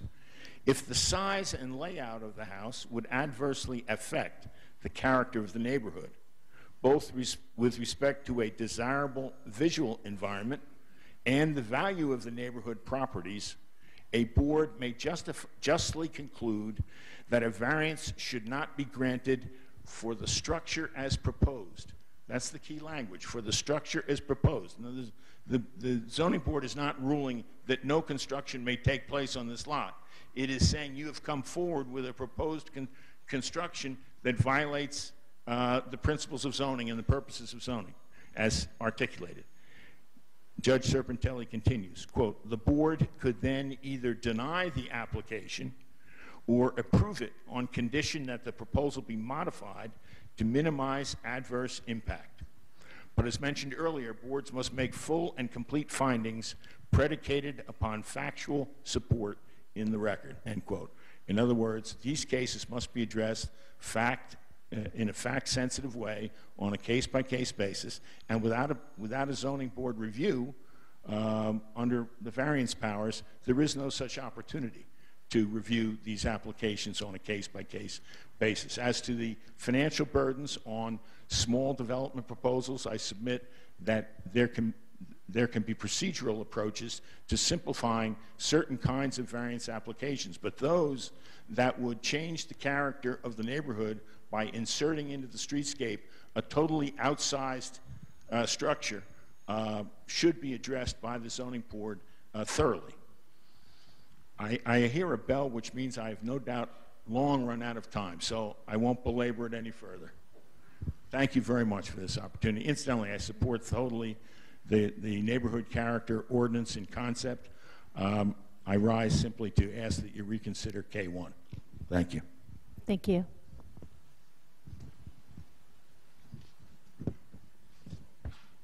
Walter, would you like to submit the, the letter to the record? Yes, I would. the, uh, the administrator. But you do need to return the microphone. I'm sorry. Thank you very much. Thanks, Walter. My name is Virginia Kerr, and I live at 124 Jefferson Road. Um, and I joined Walter in the, the letter that he just put in the record. Um, I think if our policy is to preserve our small lot neighborhoods and put some controls on the tear down and rebuilding oversized house phenomenon, uh, section K1 of this ordinance should be considered. I think the other provisions of the ordinance are very creative. Um, I think it's possible to put this one on the, the table and reflect upon this issue further. Um, and maybe wait to see what the experience is with these, we, with these other um, provisions. Um, I want to um, emphasize, as Walter said, that the zoning board certainly has the power to review applications for development on nonconforming lots and to impose conditions to help them uh, to see that they, they reflect the character. Although I agree with David that our uh, process in Princeton hasn't always worked this way. Uh, I have personal experience with a tear down across the, the alley from me, um, and, and a variance was granted for that, um, even though a lot of us opposed it. But I must say, though, that even, even though the variance was granted, that experience, I think, provides a good example of why having the variance process in place and involving the neighbors through notice and an opportunity to be heard is valuable. In that instance, this house, this was the Toto house, it had a detached garage uh, facing the alley, and my neighbor uh, to the south had used the apron of that garage for years in order to park in a parking space behind her house. She had no garage. Now, when we got the notice and saw what was going to happen, she realized that that development, they, they tore down the garage, they tore down the house, they could have put a fence all the way around the back property line, and it made it absolutely almost impossible for her to to have easy ingress and egress in, uh, to, to the parking space. The result was there was, there was a compromise with the, the attorney and the developer and an easement was granted. And the reason that was, she was able to work that out was because she got notice and an opportunity to participate. If she had not had notice and an opportunity to participate, she would have probably had to go to court to establish that she had a, what's called a prescriptive easement in law on, on that space. So, I mean, I think it's a very um, kind of treacherous process just to say, well, let's, let's just exempt these properties from the, the zoning process and let sort of administrative staff take care of it because the administrators really don't know what the experts know about this, the experts being the neighbors who live next door or within 200 feet. Now, I'd like to also just um, point out that the case that Walter read from, Dallmeyer versus Lacey, which was um, is not a new case, but it's still very good law. And most recently, that case was cited in an opinion called Jerman versus the Township, J E R M A N, versus the Township of Manchester, which I think is instructive um, in thinking about how communities can approach the problem of undersized lots. In the Jerman case, the Township of Manchester had passed an ordinance to address the building of homes on undersized lots. And what they did was basically establish special rules for undersized lots. And unlike what we're doing, they said that houses on undersized lots could only be one and a half stories high, even though the houses on the regular lots were two and a half stories high. They also required the submission of detailed plans, et cetera, et cetera. A developer sued, saying this, they violated the municipal land use law, they violated the uniformity clause. Um, there were a bunch of arguments, and the trial court rejected those arguments, saying this is lawful, and the appellate division affirmed that, um, that ruling, and um, Manchester's planner uh, said the purpose of the ordinance was to establish um, a set of uniform rules and review standards consistent with the principle, the principles established in Dallmeyer versus La- um, Lacey for the development of undersized lot. Um, because the township determined that the building height of two or two and a half story single family homes on such lots was not in character with the rest of the zone. Now, I'm not reading this to say this is what you should do. I'm just reading to set, reading it to sort of establish what um, what the parameters of possibility are for responding to this problem. I don't think it's either, you know, either we uh, abandon the variance process or we sort of stick with what we have, which is problematic. I mean, there are lots of, um, you know, there are, a lot, there, there are a number of things to think about in how to address this, and I think that Section K1 is um, problematic in many ways. I also agree um, with those who have questioned um, whether we should be raising the height requirement to 35 feet in these neighborhoods. And thank you very much. Thank you. Now I'm going to go off microphone.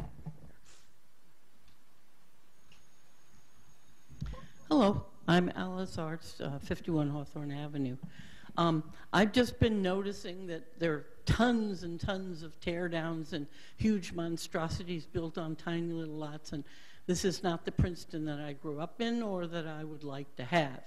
Uh, I think that generally Princeton has been bending over backwards, being super nice and super accommodating to all these high powered developers who come whining about problems one way or the other. And I think it's disgusting. I think we should pay attention to the people who live there, the kinds of houses that they have, you know, the, the, the what we would like to have as our house you know, not just tear down anything. I have no objection to somebody wants to put a porch in their house or something like that. They should not have big problems. I remember even when my father, back in the 50s, wanted to build a garage, he couldn't build a two car garage because there hadn't been a two car garage there before. So he had to build a one car garage right on the the, the foundations that were there already. I think maybe it would have been nice if he could have built a two car garage. Why not? But that wouldn't have changed anything about the neighbors or about our property, or about what anything looked like. The garage is way in back of the house.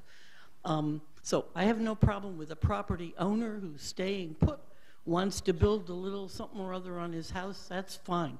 But these developers that come in and, and, and, and just do anything they want to do and then build these monstrosities, I think the zoning board should absolutely uh, not allow that kind of thing. I mean, that just shouldn't happen.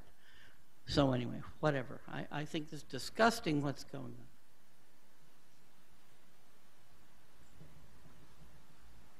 Hi, good evening. My name is Galina Chernaya, 258 Hawthorne.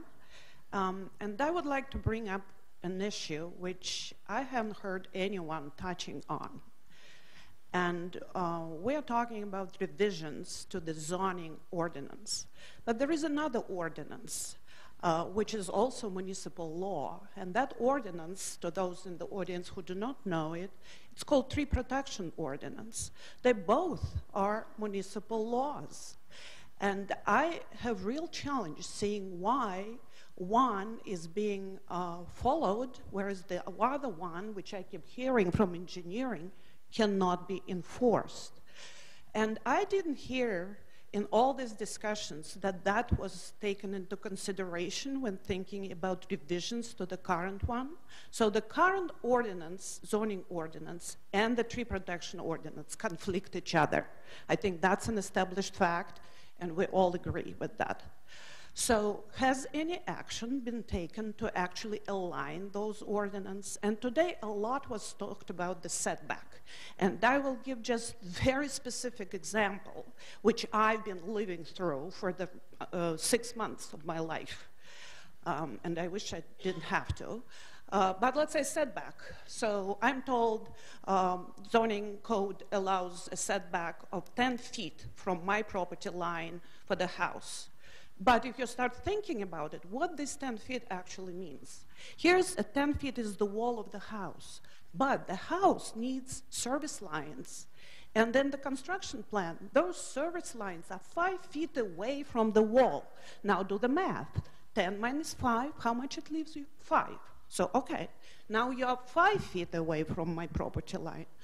Then what I hear is that the engineering tells me, oh, the builder needs room to work. They need at least two, three more feet to work. Okay, continue doing math.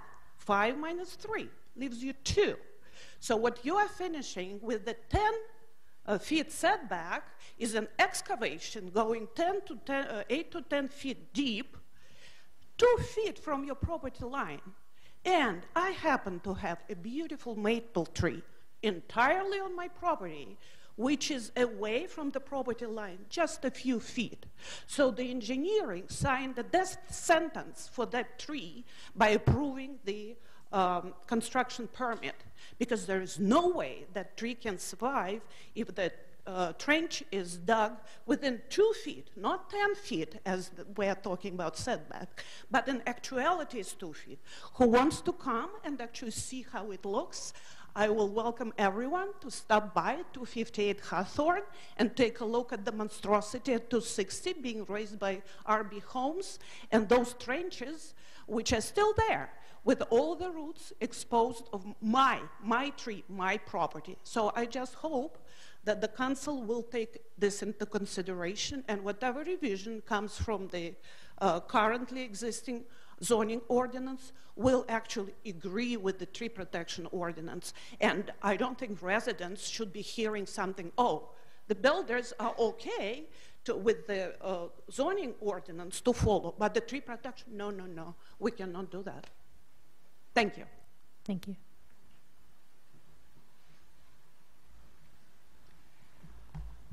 Good evening. My name is Gail Wurst, and I and I'm at 2022 Alexander Street. I believe that the vote on the zoning ordinance should be postponed into the beginning of the new year. Um, while I'm really pleased that we're going forward with this, and I want to thank everybody for all of the hard work and the many hours, the sweat, the, the, the intelligence, the, the research that's gone into this, um, I nevertheless fear that the overriding problem and impression uh, is that the proposed ordinance takes far too much of a cookie cutter approach and may apply standards devised for larger lots to lots that are much smaller in size for which they were never designed, or to lots where the aesthetics and character of the neighborhood will be negatively impacted, and that this may take place basically by bypassing the zoning board. The specifics of the ordinance were made available to the public just one week ago on the municipal website, and it has incited a great deal of passionate discussion. But above all, it has incited questions and confusion, and I think we've seen a lot of that here tonight. There are many conflicting interpretations and opinions, but the overriding impression again is that the vote is being rushed and that we need more transparency. If possible, I would like to see another public forum where all parties could get together for honest discussion and open questioning before the ordinance is put to a vote. Late in the evening of the week, when everybody is busy with Thanksgiving, many people who would like to be here cannot be here because of previous plans or the fact that they are out of work. I'm sorry, out of town. Some are out of work too, but out of town um, it, this is not the time to decide a vote of this importance and on an issue that has been going on, has been so contentious, and frankly, just so expensive in terms of time, energy, and money. Um, if it is not possible to propose the vote, if we must vote yea or nay in block on this tonight, I would hope that the council would vote nay, simply because of all of the things that you have heard here tonight. I also think that we should consider that we have a new council coming, that we could all probably benefit from more time to think about this and to discuss this and to be here at a time when everybody finds it convenient, and that the new council members might be given more time to understand what's going on because they are going to have to be the ones who deal with the consequences of this, good or bad, with whatever is decided, and maybe we should reflect on whether or not they are the ones who should be making the decision. Thank you very much.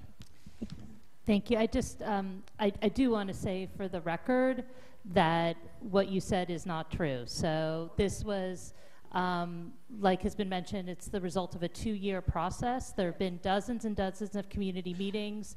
Um, I think this year, this is probably the eighth or ninth presentation at a council meeting. To Eve and Dwaine's credit, they've been here at most of those meetings, and so they are very well versed, and they've also been canvassing the community and can probably be, I mean, I don't want to put words in their mouth, but I think they can probably tell you that this is a really important issue to act on. And one of the concerns we had was starting this conversation. When you put out you're going to be changing the ordinances, that's when all the applications come in. Because in New Jersey, if somebody files an application, even if the planning board or the zoning board isn't going to hear it until 2019, they're judged on what the rules are when they file that application. We have seen tons of applications coming in. If we say we're going to postpone this till 2019, there is going to be a flood more applications. And so there is a cost, a huge cost to postponing our work. And we've We've tried to balance that because we do realize this is a big change. We want to get a lot of community input. We want this to be a community decision. It's not just us, this affects everybody. But if we wait till every single person has come in this room it's read the ordinance, then the whole town is going to be changed before we've gotten a chance to do anything. Okay, thank you for that clarification. But it's also true that I myself only became uh, involved um, recently, but it's my understanding from uh, reading the ordinance today that it was only made available on the website. That's also not true. So it was oh. put on the website several days week. before our last meeting, which oh, was okay. back in October. And then it was put on the probably the website again when the planning board reviewed it, which was okay two weeks I, ago, I stand and then it was on also that. on Thank the you. website now. So it's been on the website, and I would say there was a special website put up where it has research from Massachusetts, from California, from Okay. Minnesota, from there's we've done tons of research. We've had reports that Jim has issued a report and that's been up on the website for at least the past 8 months, I believe. Mhm. So, I would say that I don't I strongly object to the fact that we haven't been transparent about this. There have right. been dozens of articles about it. It's been huge you know, we post about it all the time. It's on the website. If anybody's interested in this, then I, I feel like they, they had the opportunity. I don't know how else we can reach out to people to let them know what we're doing. All right, thank you. Thanks. Good evening. My name is Johanna Froelich Schwartzentruber. I live at 205 Moore Street, um, which is one of these lovely, charming Princeton neighborhoods that is that was built in a homogeneous way, and people find very quaint. And there's a definite aesthetic to the neighborhood, so it is vulnerable to being damaged by these teardowns and rebuilds that have no um, aesthetic um, care for, for what the neighborhood is, specifically by developers who are out to make money.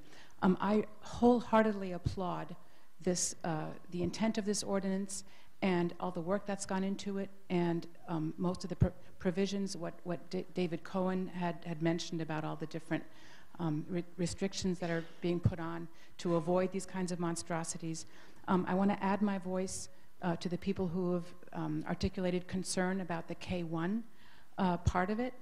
Um, uh, I'm concerned about the height requirement change, but that's, um, that's more minor. My main objection is, again, the same as almost everybody else, to um, the, the proposal to bypass the zoning board for undersized lots. Um, I do think this will take away a guardrail. Uh, we've heard how the zoning board does have power and does have the, the foundation to, to say no and to, and to maybe put some restrictions on or, or um, deny a proposal so that another proposal can, can come, that's, that's better. And also, my main concern about that is the notice to the neighbors would not have to be done uh, the way it has been now. And I've had personal experience with that with a neighbor, a neighborhood house. Because we had notice, we were able to enter into dialogue and, and make a change and prevent a tear down and rebuild that was being done by a developer with no concern for the aesthetic of the neighborhood. And that's the last point I'd like to make. Um, I, well, I think the zoning board should be involved. Case by case basis is important. Um, I think that the notice to the neighbors is really important because that way you can enter into dialogue with, with something that's about to happen and, and possibly have an impact. Um, but the, the other thing that I've heard uh, this, this evening is that I'm wondering if there can be a difference made between developers that are coming in to make a buck uh, and don't have any care for the neighborhood, and neighbors who maybe want to do a little remodel or a little addition, and if we could have a differentiation in the process uh, between those two kinds of um, people who are trying to build. Thank you. That's all I have to say. Thank you.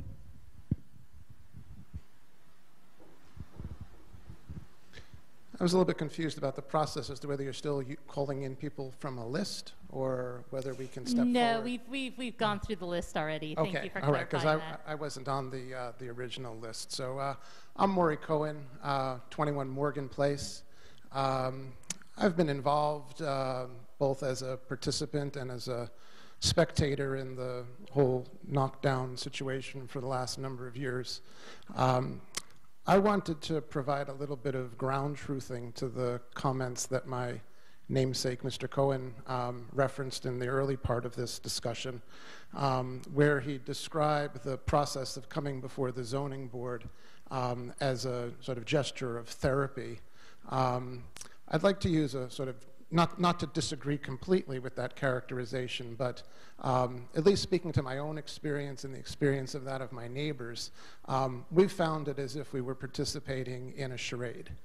Um, and I think that that sort of comes through in some of the comments that were made by the predecessor speakers here tonight. Um, that um, you, you come before the zoning board um, with, uh, with uh, a sense that you're not going to be heard, that uh, you're going to be ushered out of the door as quickly as possible. Um, I don't know how many members of council uh, attend zoning board meetings on a regular basis, but there's a major problem in terms of the decorum of these sessions. Um, I myself have been treated um, rudely and disrespectfully, um, despite the fact that I've conducted myself with the utmost of professionalism.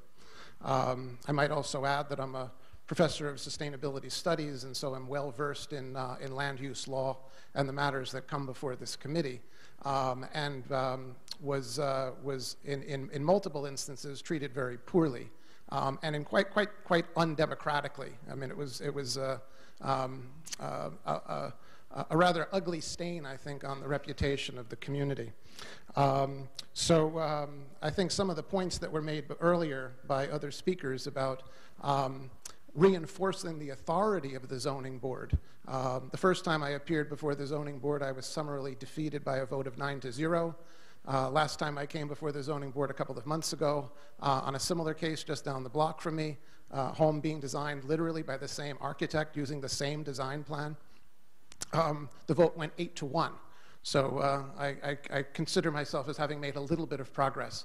Um, but um, uh, to refer back to the, to the, to the mayor's uh, earlier comment about the flood of applications that have been coming in since this issue has been, um, been aired publicly, um, it's, I've never understood why, and maybe there's a, a, a, perfectly good legal explanation, I've never understood why it's not possible to declare a moratorium for a short period of time 60 days, 90 days, where the township just decides it's not going to issue any building permits during that period of time.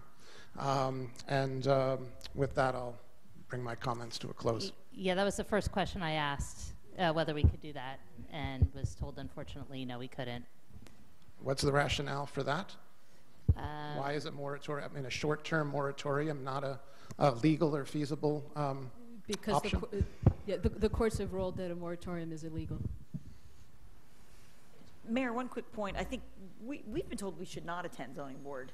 That right. Just that's so the other know. thing. Yeah. So this is just just. I mean, I- to explain that. a lot of yeah. you are like super involved, but essentially the zoning board acts in essentially like a judicial capacity, and so as the rule makers, you're not supposed to. It, it, I think that if we and uh, sit in the zoning board meetings, it can look like we're trying to influence the decisions and people only go before the zoning board when they're asking for a variance or essentially like an exception to the ordinances that we've made. So um, Well, they, they serve a purpose, but it's very specific. Yeah. I mean, Sorry.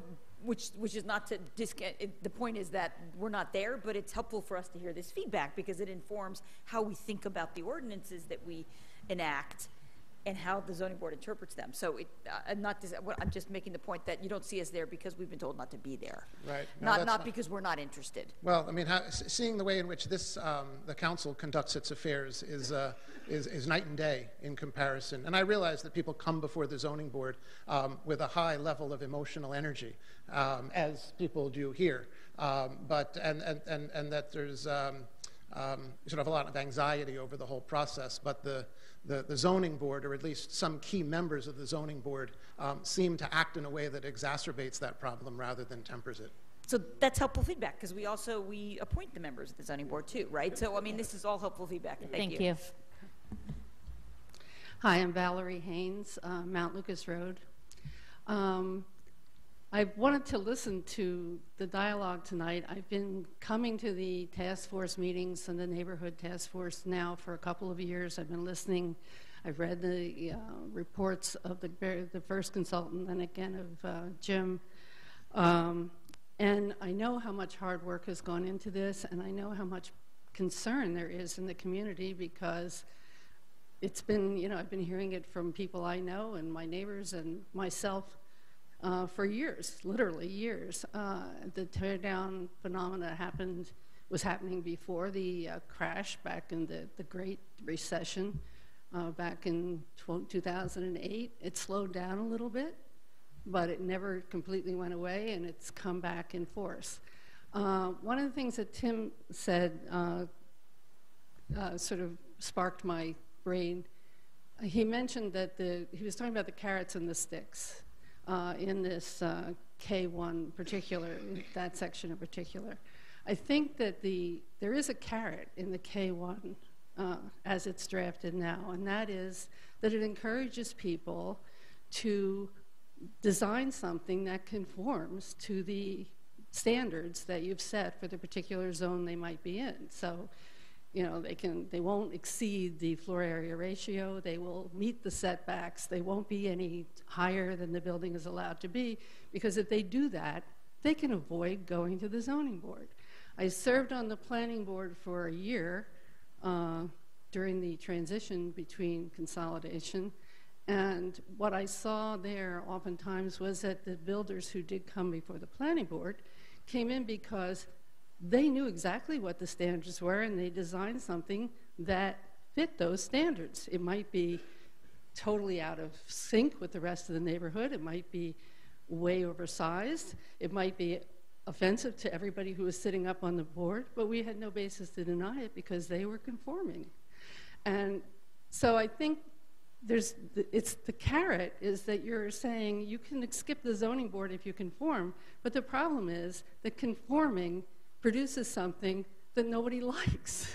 so the next step is really having to make some hard decisions about whether what you allow currently is the right thing for the specific zones that they're that you're looking at because what I've seen and what I've heard from people again and again and again is this sense that something that's allowed, something that conforms, doesn't fit because it's just too big.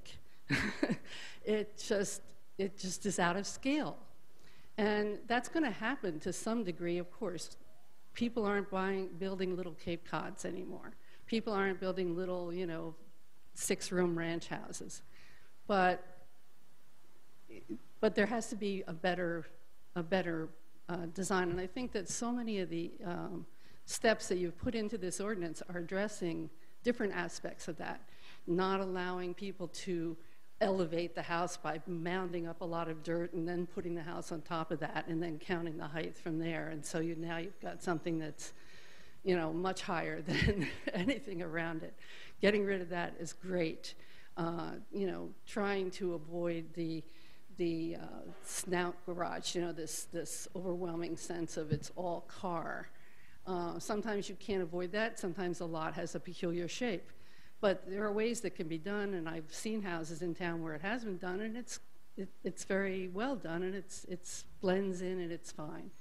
But so much of what's done is not done thoughtfully. It's just cookie cutter. And I think that's what people are concerned about. But for tonight, I hope you pass this ordinance. I think, you know, there may be you may find that there are things that you can tweak, and as we go through experience, we'll find that there are certain ways that you know language that could be improved upon. But overall, this is terrific. It's a great effort, and it's it took a long time coming, and I, I think we should do it. I don't think we should wait any longer. Thank you. Thank you. Is there anybody else who'd like to speak?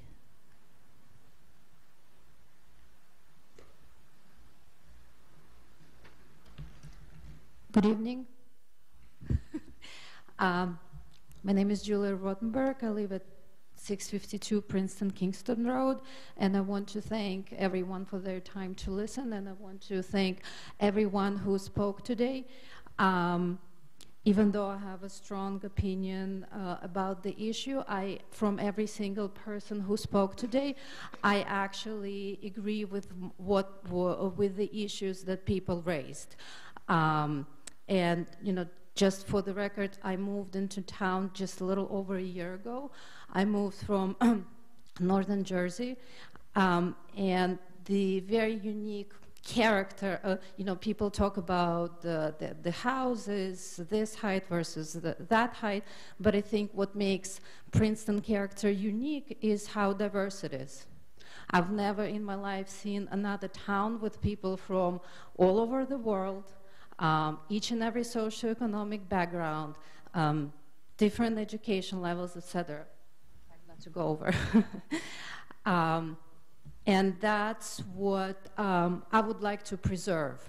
Um, as I said before, I heard uh, people raising issues that are valid issues. Uh, next to my house, I don't want to see a house that is two stories higher. That should not happen. And builders should not have any special uh, privileges. Uh, and my trees, beautiful maple trees, should not be uh, destroyed by uh, zoning rule that makes no sense. Um, but I also think that imposing restrictions on people who um, want to build a house, that, that's not how um, we become more inclusive. That's how we become less inclusive. And to me, this is some sort of uh, discrimination and favoring one group of people versus another. Um, it is just my opinion that um, some people who raise the issues, those are valid issues, and they're actually addressing this ordinance.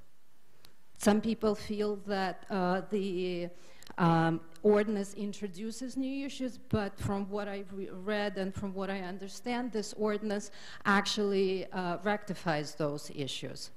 Um, so basically, with the, that said, I hope that this ordinance gets passed today. I think it will be good for everyone, for all the neighborhoods, conforming lots and non-conforming lots. Uh, I do agree with a gentleman who left that if my property is 0.2 or 0.5 acres larger than his, he should not have gone through this grueling uh, zoning uh, variance and approval process.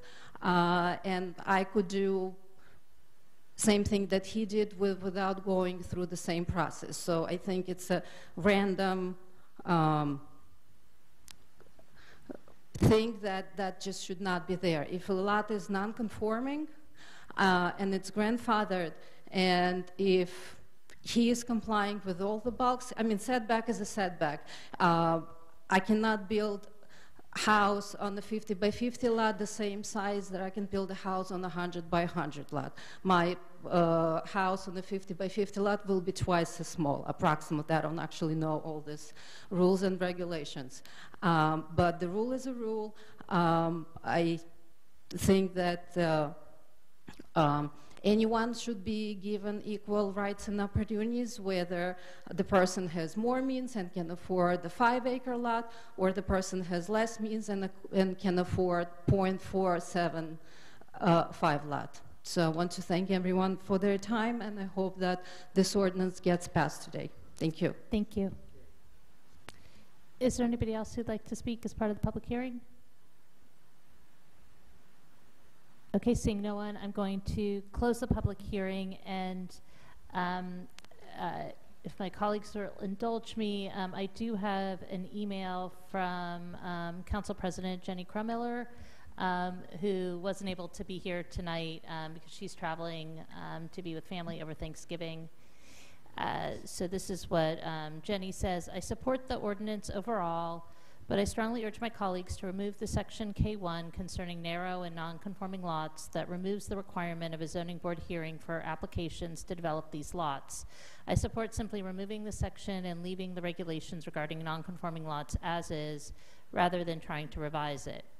We all lose out when our neighborhoods lose their old-fashioned character and aesthetic. Princeton is Princeton because it has not changed as fast as other towns, and that is in part because of the vigilance of neighbors and the concerns they inevitably express about changes to individual properties during zoning hearings. It is valuable for the zoning board to hear from people who know the neighborhood best, so that the board can, in some cases, reject changes that have only overly negative impacts, and in some cases impose conditions to mitigate ne negative impacts.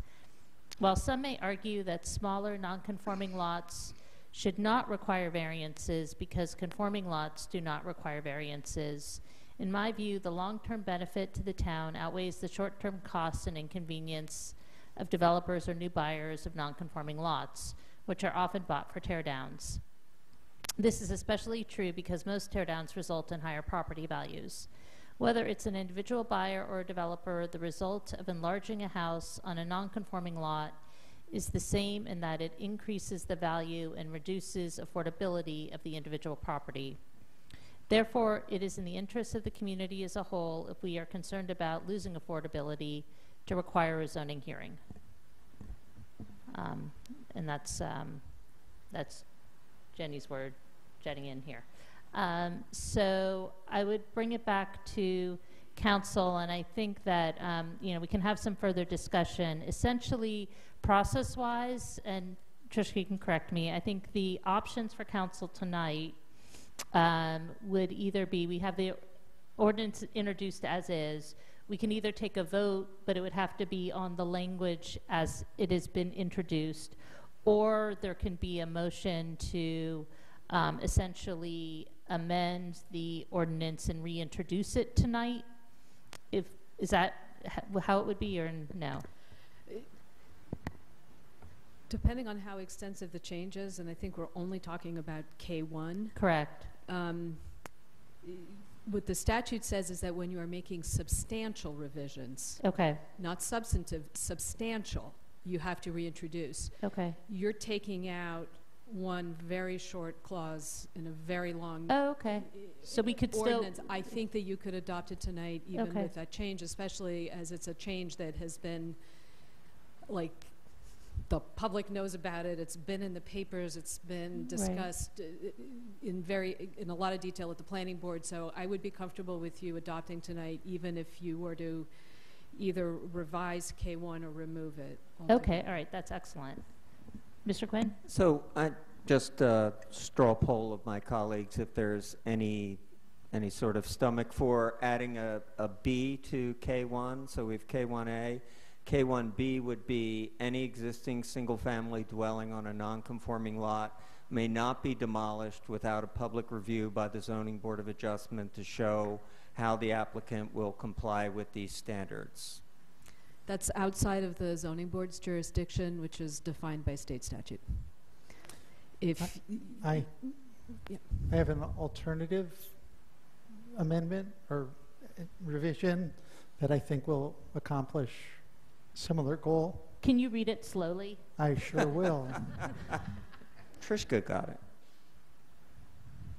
Okay, I'm just, give me a second to collect my thoughts and then I'll read it.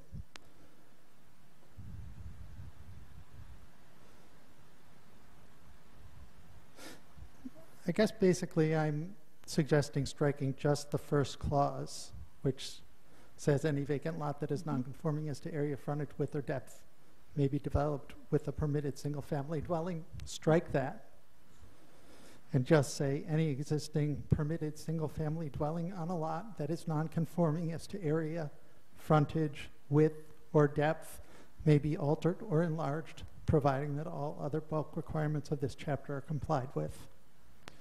And it basically provides relief to homeowners who want to do an addition or an expansion, as long as they meet the bulk requirements, and it eliminates the ability, it, it eliminates the gray area of what is a vacant lot, what is reconstruction, um, and, and basically sends them to the zoning board. What's, Ms. Howard? I, I'm sort of looking to some of the other lawyers in the audience to see what they think of that. The, the, the, the So I, I think we're trying to get to the same thing, which is not to throw the baby out with the It seems, it seems an elegant way from a drafting perspective to take that off because it's talking about no tear downs, but, I- you know, I worry drafting on the fly about unintended consequences. Well, If it makes you feel better, that was the change I was going to suggest, if you wanted to limit the grandfathering to existing structures that someone is making a change to. I would have done the exact rewording that Councilman Cohen just suggested. Okay. Um, Should have been a lawyer. I mean, can we open to the audience? Yeah, so I would comments because recommend this has that, gotten so much um, attention. I, I would say, j- just for taking the minutes and keeping track of this conversation, um, I would ask Mr. Cohen to make that as a formal motion and then see if there's a second, and then we can open it up and see if there's any additional comment on it. Do you need me to read it again? Do you, do you need it read again, or do you know what it is? Just because it's a phrase being cut. Okay, so. Okay. Okay. I move the amendment of section K1 to read, "Any existing permitted single-family dwelling on a lot that is non-conforming as to area, frontage, width, or depth may be altered or enlarged, provided that all other bulk requirements of this chapter are complied with."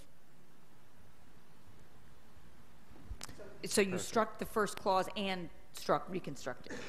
Exactly. Correct. Okay. And is there a second to Mr. Cohen's motion? Okay, it's been seconded by Mr. Liverman. And um, I just want to start by seeing if there are any, there's any discussion from council, and then we can see if there's um, additional comments from the public before we bring it back. So, Trishka, what does this do if I want to tear down a house? I, I am not afforded the protection, I would have to go to the zoning board? Correct. If you're enlarging, if you're y- y- enlarging your house, making changes to your existing house, as long as you conform to everything else, you can go straight for building permits and a zoning permit. If you're building new, then you're going to the zoning board. Then I applaud my colleague, Mr. Cohen, for his, uh, Okay. What if I want to put a huge thing on the back of my house? If you meet all of the setback requirements, the height limitations, floor area ratio, all the other size limits in your ordinance, you can just, it can be dealt with administratively. Uh, You have to show, as part of your permit applications, obviously, that you fully conform to all of those other requirements, but you don't have to go for a variance in front of the zoning board. But under our current ordinances, you would need to. I would defer to Derek because I know that there are certain He's- he's grandfathering saying no. provisions in the borough. So there's no change for those? I'm going to let Derek answer Okay. that because he knows what the requirements are in the various zones currently.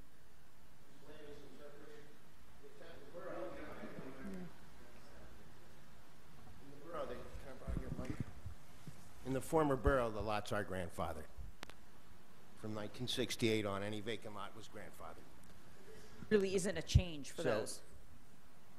It, I mean, it, except now, it- they're not grandfathered for, you'd have to get a variance. Um, in the township, the way it was interpreted was if it was a new house or a tear down, you had to get a variance for a lot area, lot width, or lot depth. So now, I mean, there's not a lot of vacant lots in the borough. There's not a lot of vacant lots anywhere, but We're not talking about a vacant lot, we're talking about like an existing structure. that, there's really, it's been interpreted that they didn't need a variance to expand an existing structure if the lot was non-compliant. That- Wait, say that again. I- i- Is or is not, sorry. It, they don't need a variance.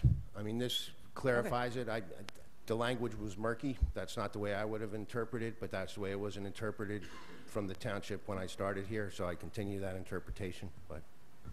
So this is essentially, I just want to clarify, this is no change from what we have currently. The, the only change is the substance of the rest of the, the ordinance. Correct. All right. So we've, we've excised the part that was the change. And restated the current. Yippee. Okay. That, Um, that, that, I mean, it seems like we just neutered the provision then, though. I thought we were trying to get, right? I mean, what, so what have we accomplished? Oh, I think the rest of the ordinance is great, but I just want to clarify, we're not really cha, this amendment is basically repealing the provision that was of concern. Right. Okay. I think it's important for us to establish that on the record, right? Yes. And I would like to, And clarifying the, what had been our zoning officer's interpretation of the underlying ordinance, which is that if you are on an, uh, if you're on a non-conforming lot, an existing structure, as long as you comply with the other requirements, you do not need a variance. Right. Which my understanding from what everybody said is what we're trying to capture, because then you're not penalizing the existing homeowner who wants to put on a porch or do some other sort of um, change to their property, even if they're on a uh, non-conforming lot. Um, I would like to open it up. Um, maybe we don't have to hear from everybody again, but if um, anybody has, um, yeah, special expertise or something to say about uh, this discussion, this new part of the discussion, yes, Eve. Uh, Eve Niedergang, 15 Forester Drive. Uh, really a question for Trishka, just for my own confidence. Um, the word altered cannot be construed to be destroy or tear down? That, that was the wording? No, I don't, I don't think it can. Um, I don't have, you would look to the Uniform Construction Code for a lot of these definitions, and I don't think that, that altered could be mixed up with tearing down. Derek is shaking his head. Derek in is also saying that's not how it would be interpreted. Then, then I have to commend you on a, a beautiful fix. Thank you. I, I would like to comment that um, I hold in reserve the potential to re-raise this issue next year. Um, there's a part B of the um, neighborhood character study, which is going to look at density and the possibility of introducing two-family dwellings in neighborhoods where they're currently not permitted, um, accessory dwelling units, a lot of things that we're hoping will address the issue of the missing middle.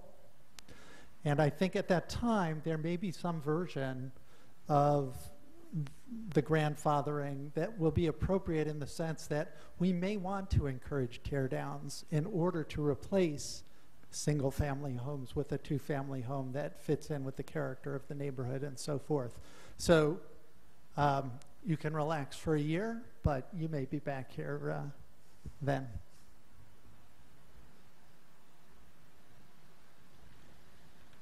Thank you. Very briefly, Walter Bliss again.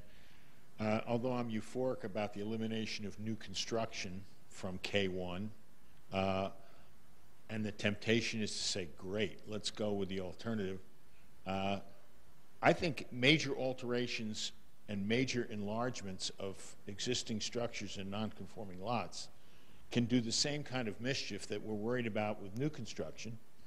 And the real distinction, I think, is between major changes and minor changes. There ought to be procedural distinctions as to how the board, the zoning board processes the two, but certainly major alterations and major enlargements, I think, should be subject to positive and negative criteria. Um, and thank you for allowing me to comment. Thank you. Uh, Virginia Kerr again. I agree with Walter, and I'd like to add one thing.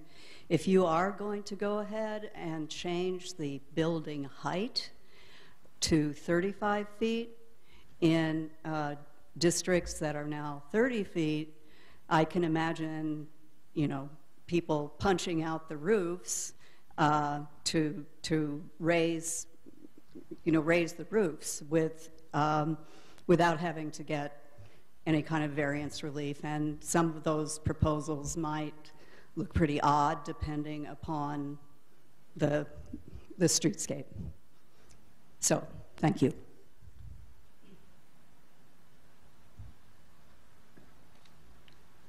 Mary, Mary Clorman, Harris Road. I'd like to uh, echo Walter's comments and, and just say that what, what strikes me as an ordinary citizen here is that while you've addressed the issue of complications, which is much to be appreciated, what you don't seem to address is the fact that if you allow a five foot increase in the height, and if you allow narrow setbacks, and if you allow bigger buildings on smaller lots, you've still got the same problem that we're really objecting to, which is that you're changing the character of what's possible in the neighborhoods.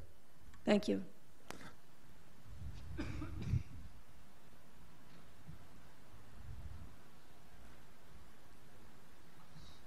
Kip Cherry, 24 Dempsey.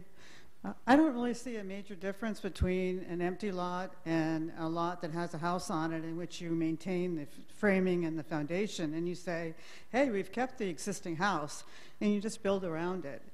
Uh, so I'm not sure you're changing anything, really. So I, I have a real reservation about this adjustment. And um, my, one of my neighbors uh, rebuilt his house. I don't know why he did it the way he did it, but he went right down to the framing. The only thing he, he saved was the garage. Uh, the framing was reconstructed because he wanted to change the uh, ceiling height. And, uh, you know, you can do that. So I don't see that you're really changing anything. I think it's just going to be something that the developers work around and they're going to do what they have been doing all along. I, I go back to what I was saying, and that is I think that the zoning board needs more understanding of their authority and their capabilities, and they need to do more to mitigate uh, and to define the conditions of the variances. Thank you. Thank you. I, I, just want to ask another clarifying question. So if you are on a non-conforming lot, um, if we were to do completely away with K1, if you wanted to do anything on your property, would you be required to go before the zoning board? I'm going to again defer to Derek, who knows what the existing provisions are in the two unconsolidated ordinances. You have to use the mic, sorry. Because, and the reason I'm turning to Derek is because if this ordinance is silent, it's obviously not overriding anything. So the answer to your question then lies in what's currently on the books, which R- Correct. You would have to go for a variance in the township if you uh, wanted to tear down a uh, house or, s- No, that's not what I'm asking. I, so I'm, let's say I, I, my house is on a um, non-conforming lot, and I want to add a porch, and the porch is conforming. The only thing is that I'm on a lot that's non-conforming. The way it's currently interpreted, and it's interpreted bef- prior to my taking over that position, was you would not need a variance if the porch was complying. Okay. Well, Either my- the borough or the township? Correct. So I- essentially, David's, it w- the way you're interpreting it, David's language is sort of superf- sur- superfluous then. It- No, Well, I the- think The David's- question is what think section, David's- what section of the ordinance currently addresses this? There's a section in the ordinance on non-conforming uses. If it's section K1 and we strike K1, then the existing language is not going to come back. We have to, I mean, unless the existing rules about non-conforming lots are somewhere else in the ordinance and undisturbed by this revision, then we, we can't just strip it, strip it out. No, I, I think David's language is needed. It clarifies it. I mean, it was interpreted that way um, for 20 years, 30 years, but I think it's better to have what the actual language should be to be interpreted than somebody making a decision. Is, So- is, is there a way to address Walter's concern about major and minor? Well, I mean, what's the negative criteria if you have a complying application? Other than the lot area or the lot depth or the lot width, what's the negative criteria? How do you ascertain that from a public policy point of view? Is it It- too large? Is it too high? Complies with the code. The fact that their lot may be 10 feet smaller than the required lot area throws them into a whole nother category of review. it looks like he may have an idea.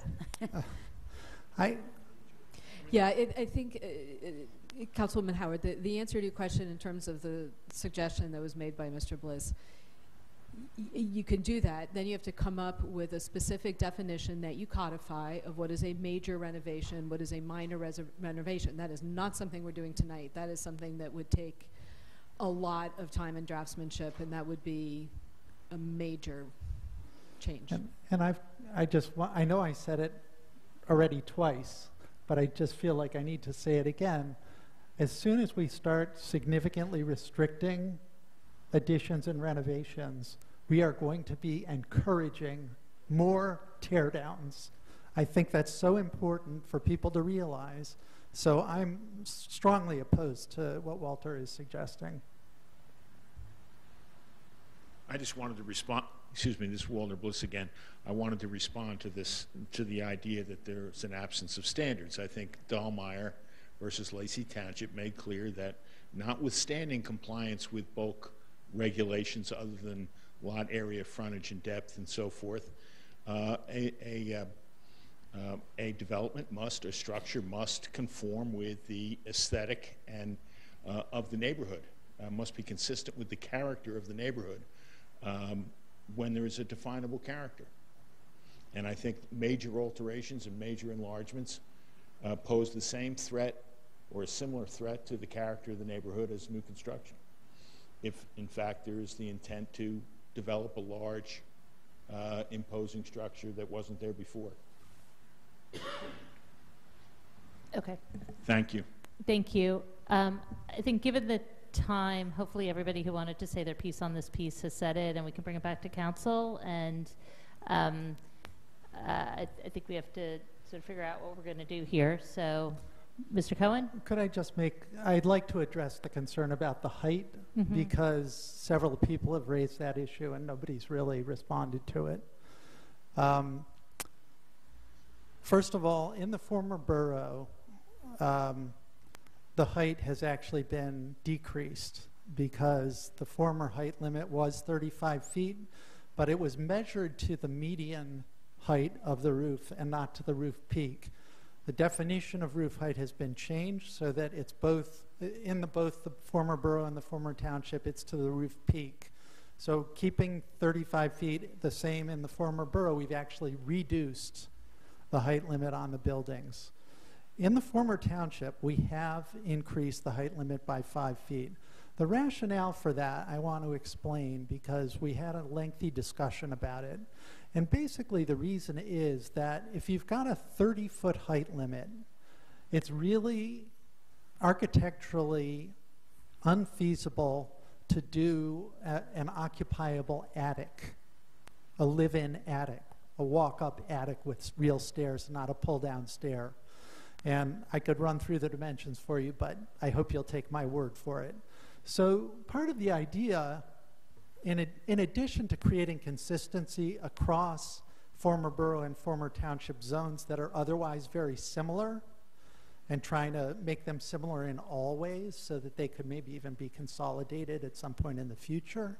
That was one part of the reasoning. But the other part was to be able to make walk up attics that would actually be livable.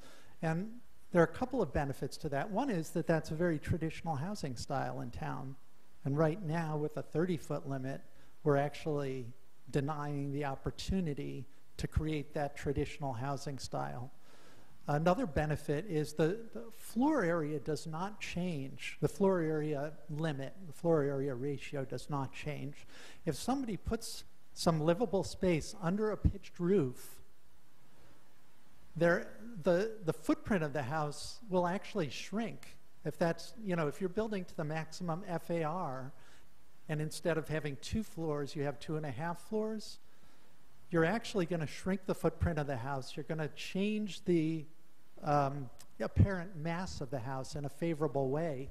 And that living space is mostly going to be hidden up under the roof. You might have some dormers, so it's not something that really um, impacts negatively on the neighbors. So there was a lot of thought that went into um, allowing that 35 foot height increase. Uh, uh, you know, a five foot height increase from 30 feet. And I just wanted to make sure that people understood why we were doing that. So, You, you have to come up to the mic and. This will be really fast. Okay, and then it's almost 10, so I want to. Yeah, Virginia Kerr, and this is just a fact point about my own house, which is 30 feet high, and it has a half story, which is livable. Now, there's, well, there's, you know, there, there are eaves and there's storage, but there's a room up there and there's a regular stairway that goes up. It's not even a pull-down stairway. So I'm just saying, in, it's not impossible with a 30 feet, I'll come 30 back- foot limitation to make that half story usable. Thank you. I'll come measure your house. I, Okay, I, you know, I, let's, I look forward to that. you might be able to do it with 31, 30. I'm skeptical. um, so, Mayor, uh, you know, I, I want to make sure we don't lose sight of the fact that we're probably in agreement on the rest of the ordinance and really excited about the culmination of years of work and, as you mentioned, dozens of meetings and incredible consultations. So, we just need to bring this piece to uh, a head.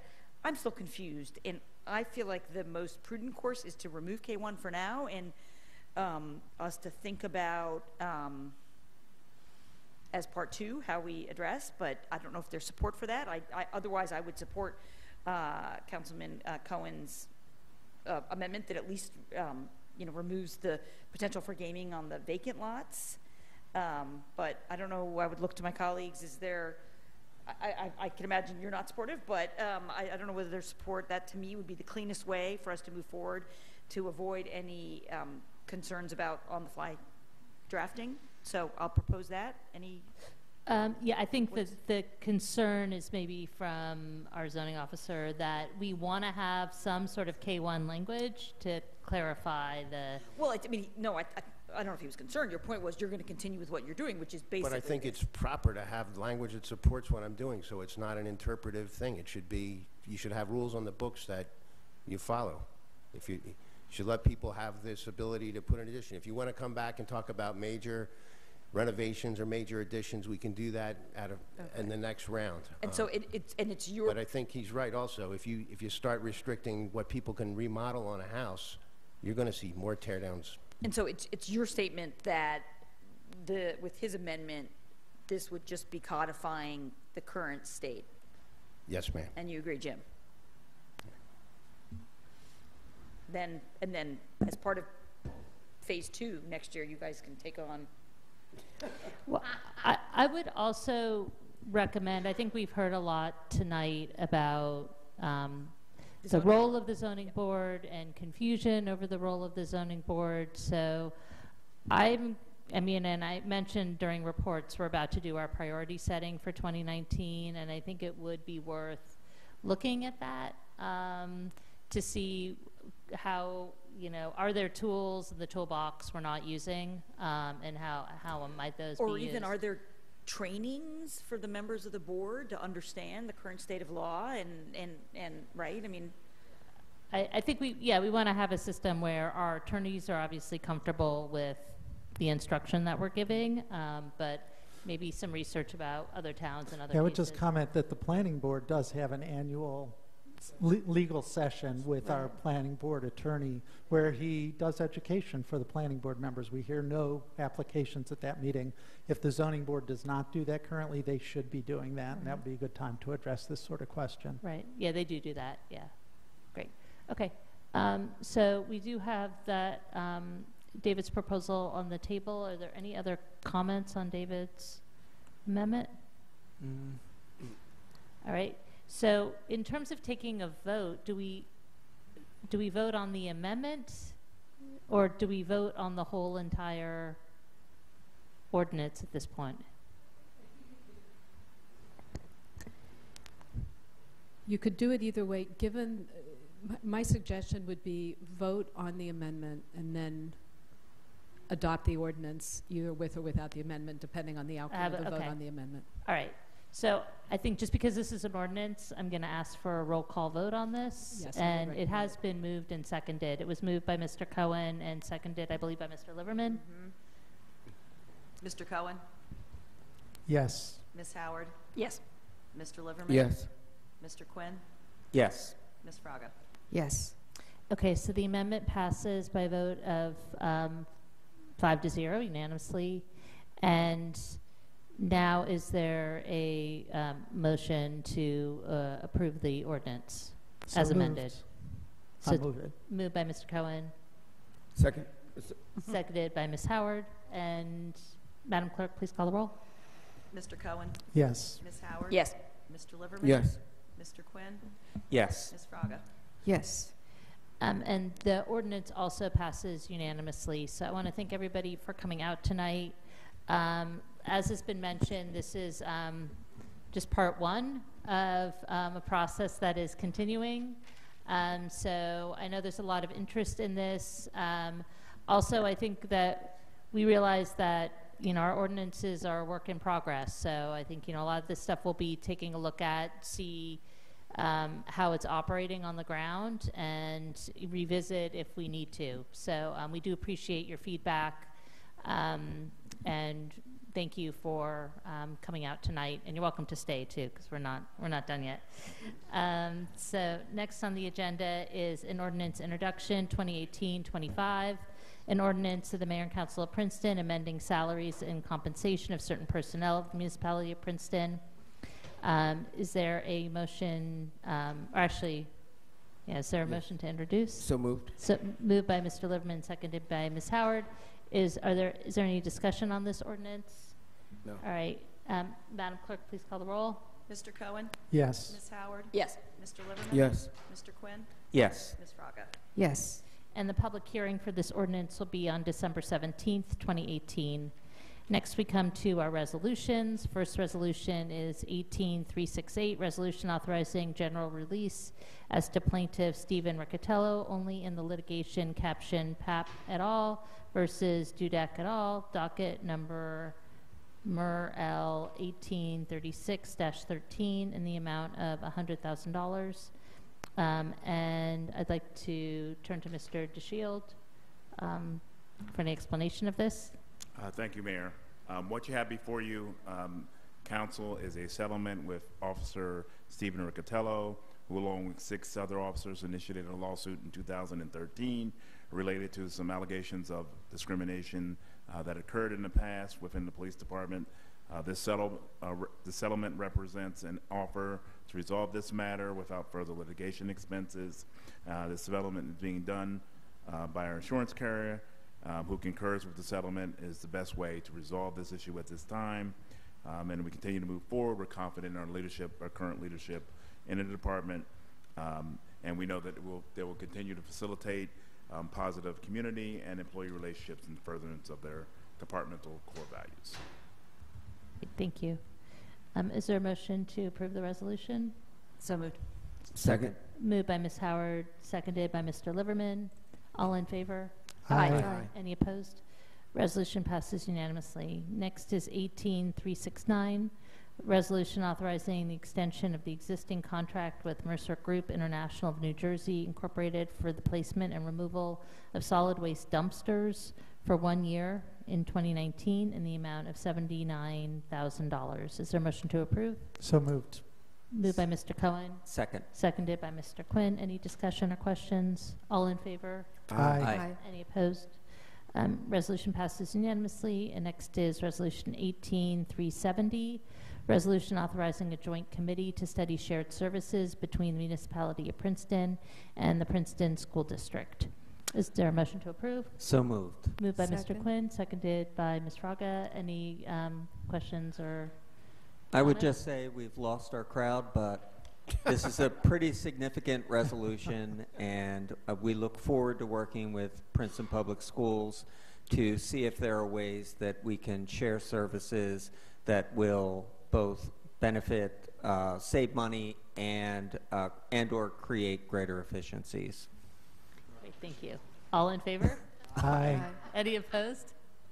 All right, resolution passes unanimously, and I'm sure we'll be hearing more about that um, in the months to come. Um, Next, we come to a- the consent agenda, which contains items of a routine nature passed by a single vote. Um, Are there any items anyone would like removed from the consent agenda?